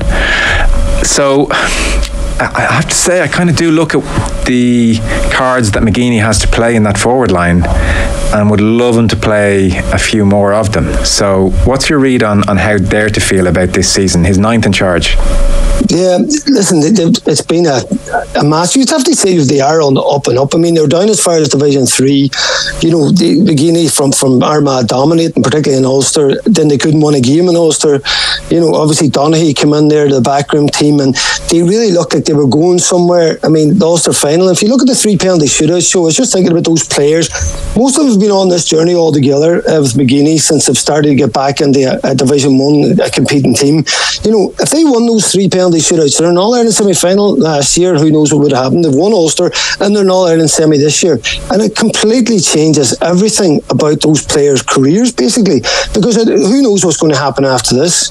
So it's on the back of those three penalty shootouts. You know, our, the Armagh world could be so so different, but it is what it is. And if you're on about normal time, Joe, yeah, and we're crying out the Armagh about this all year. So when I, I take this back to, I was doing a commentary Armagh against uh, Tyrone, and, uh, Armagh playing so so in the match. They have a man sent off, and they realised the game's over, and Tyrone were keeping the ball, and they started to squeeze on Tyrone with a man down, and turnovers, and cause mayhem, and push Tyrone, and, and very easily could have got a goal to end the match, which would have got them a draw.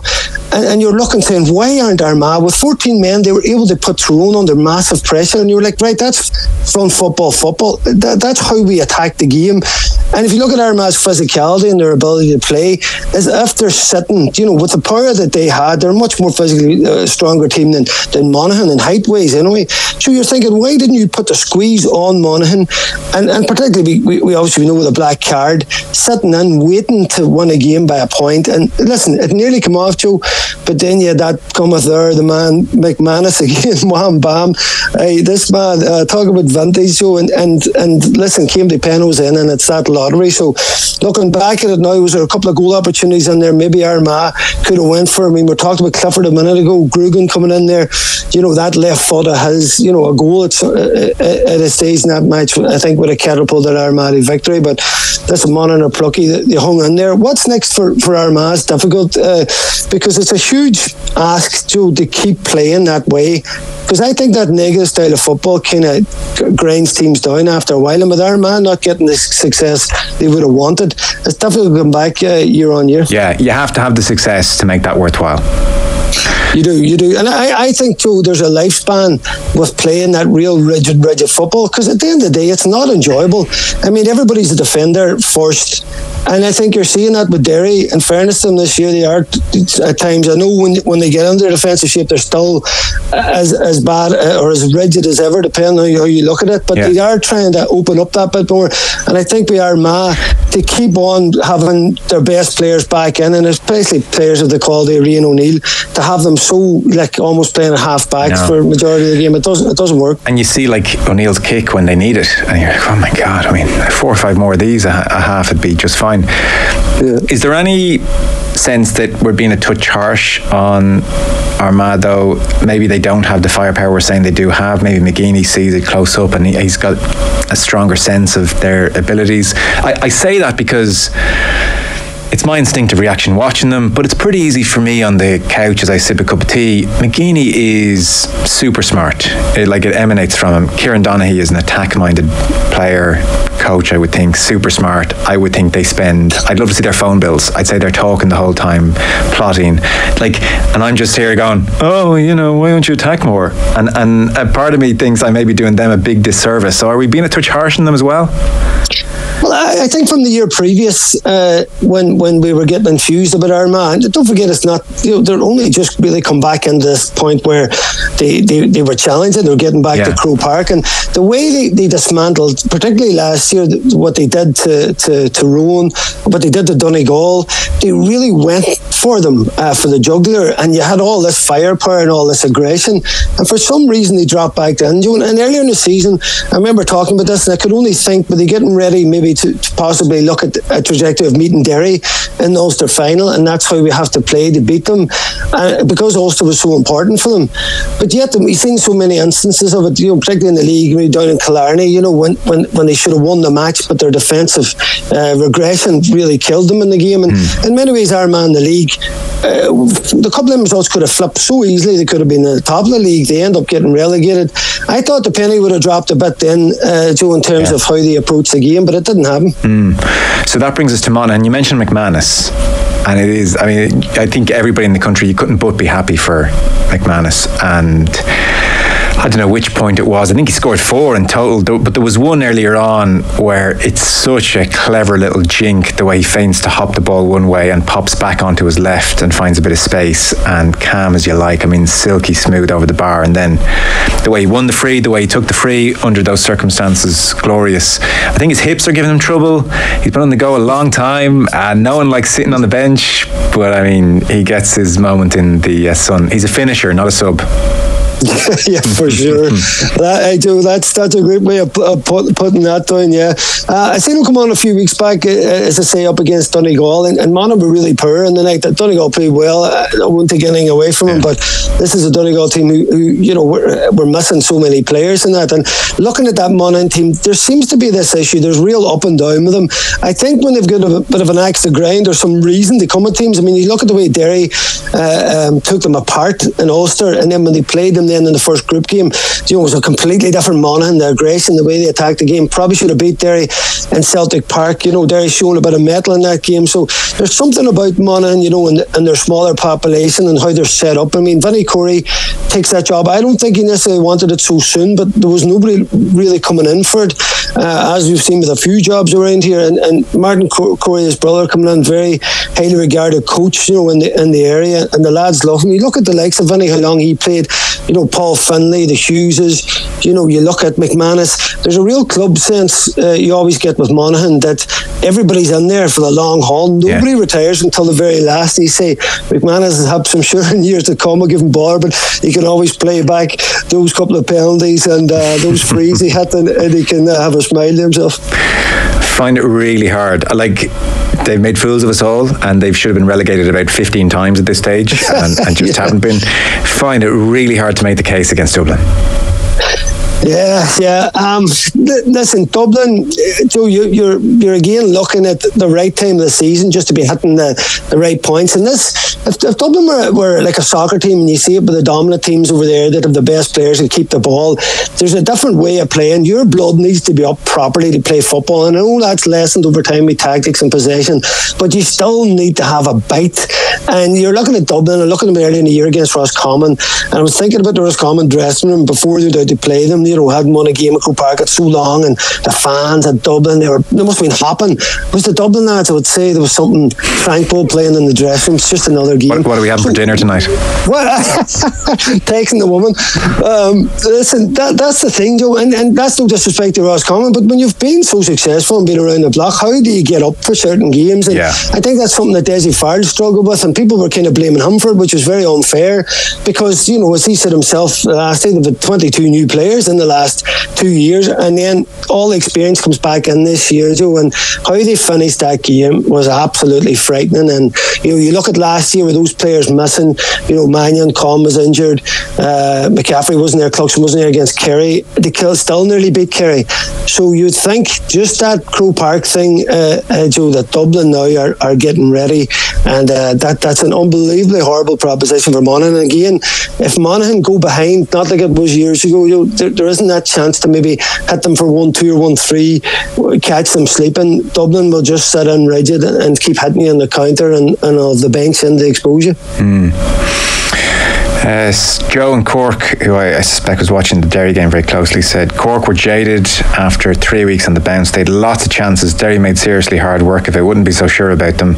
And Pat makes a fair point. I hadn't thought about this actually, but now that he says it, I totally agree. Uh, the goalie, I presume he's talking about Monaghan goalie here. The goalie should not be allowed to wear black. Gets mixed up with the referee.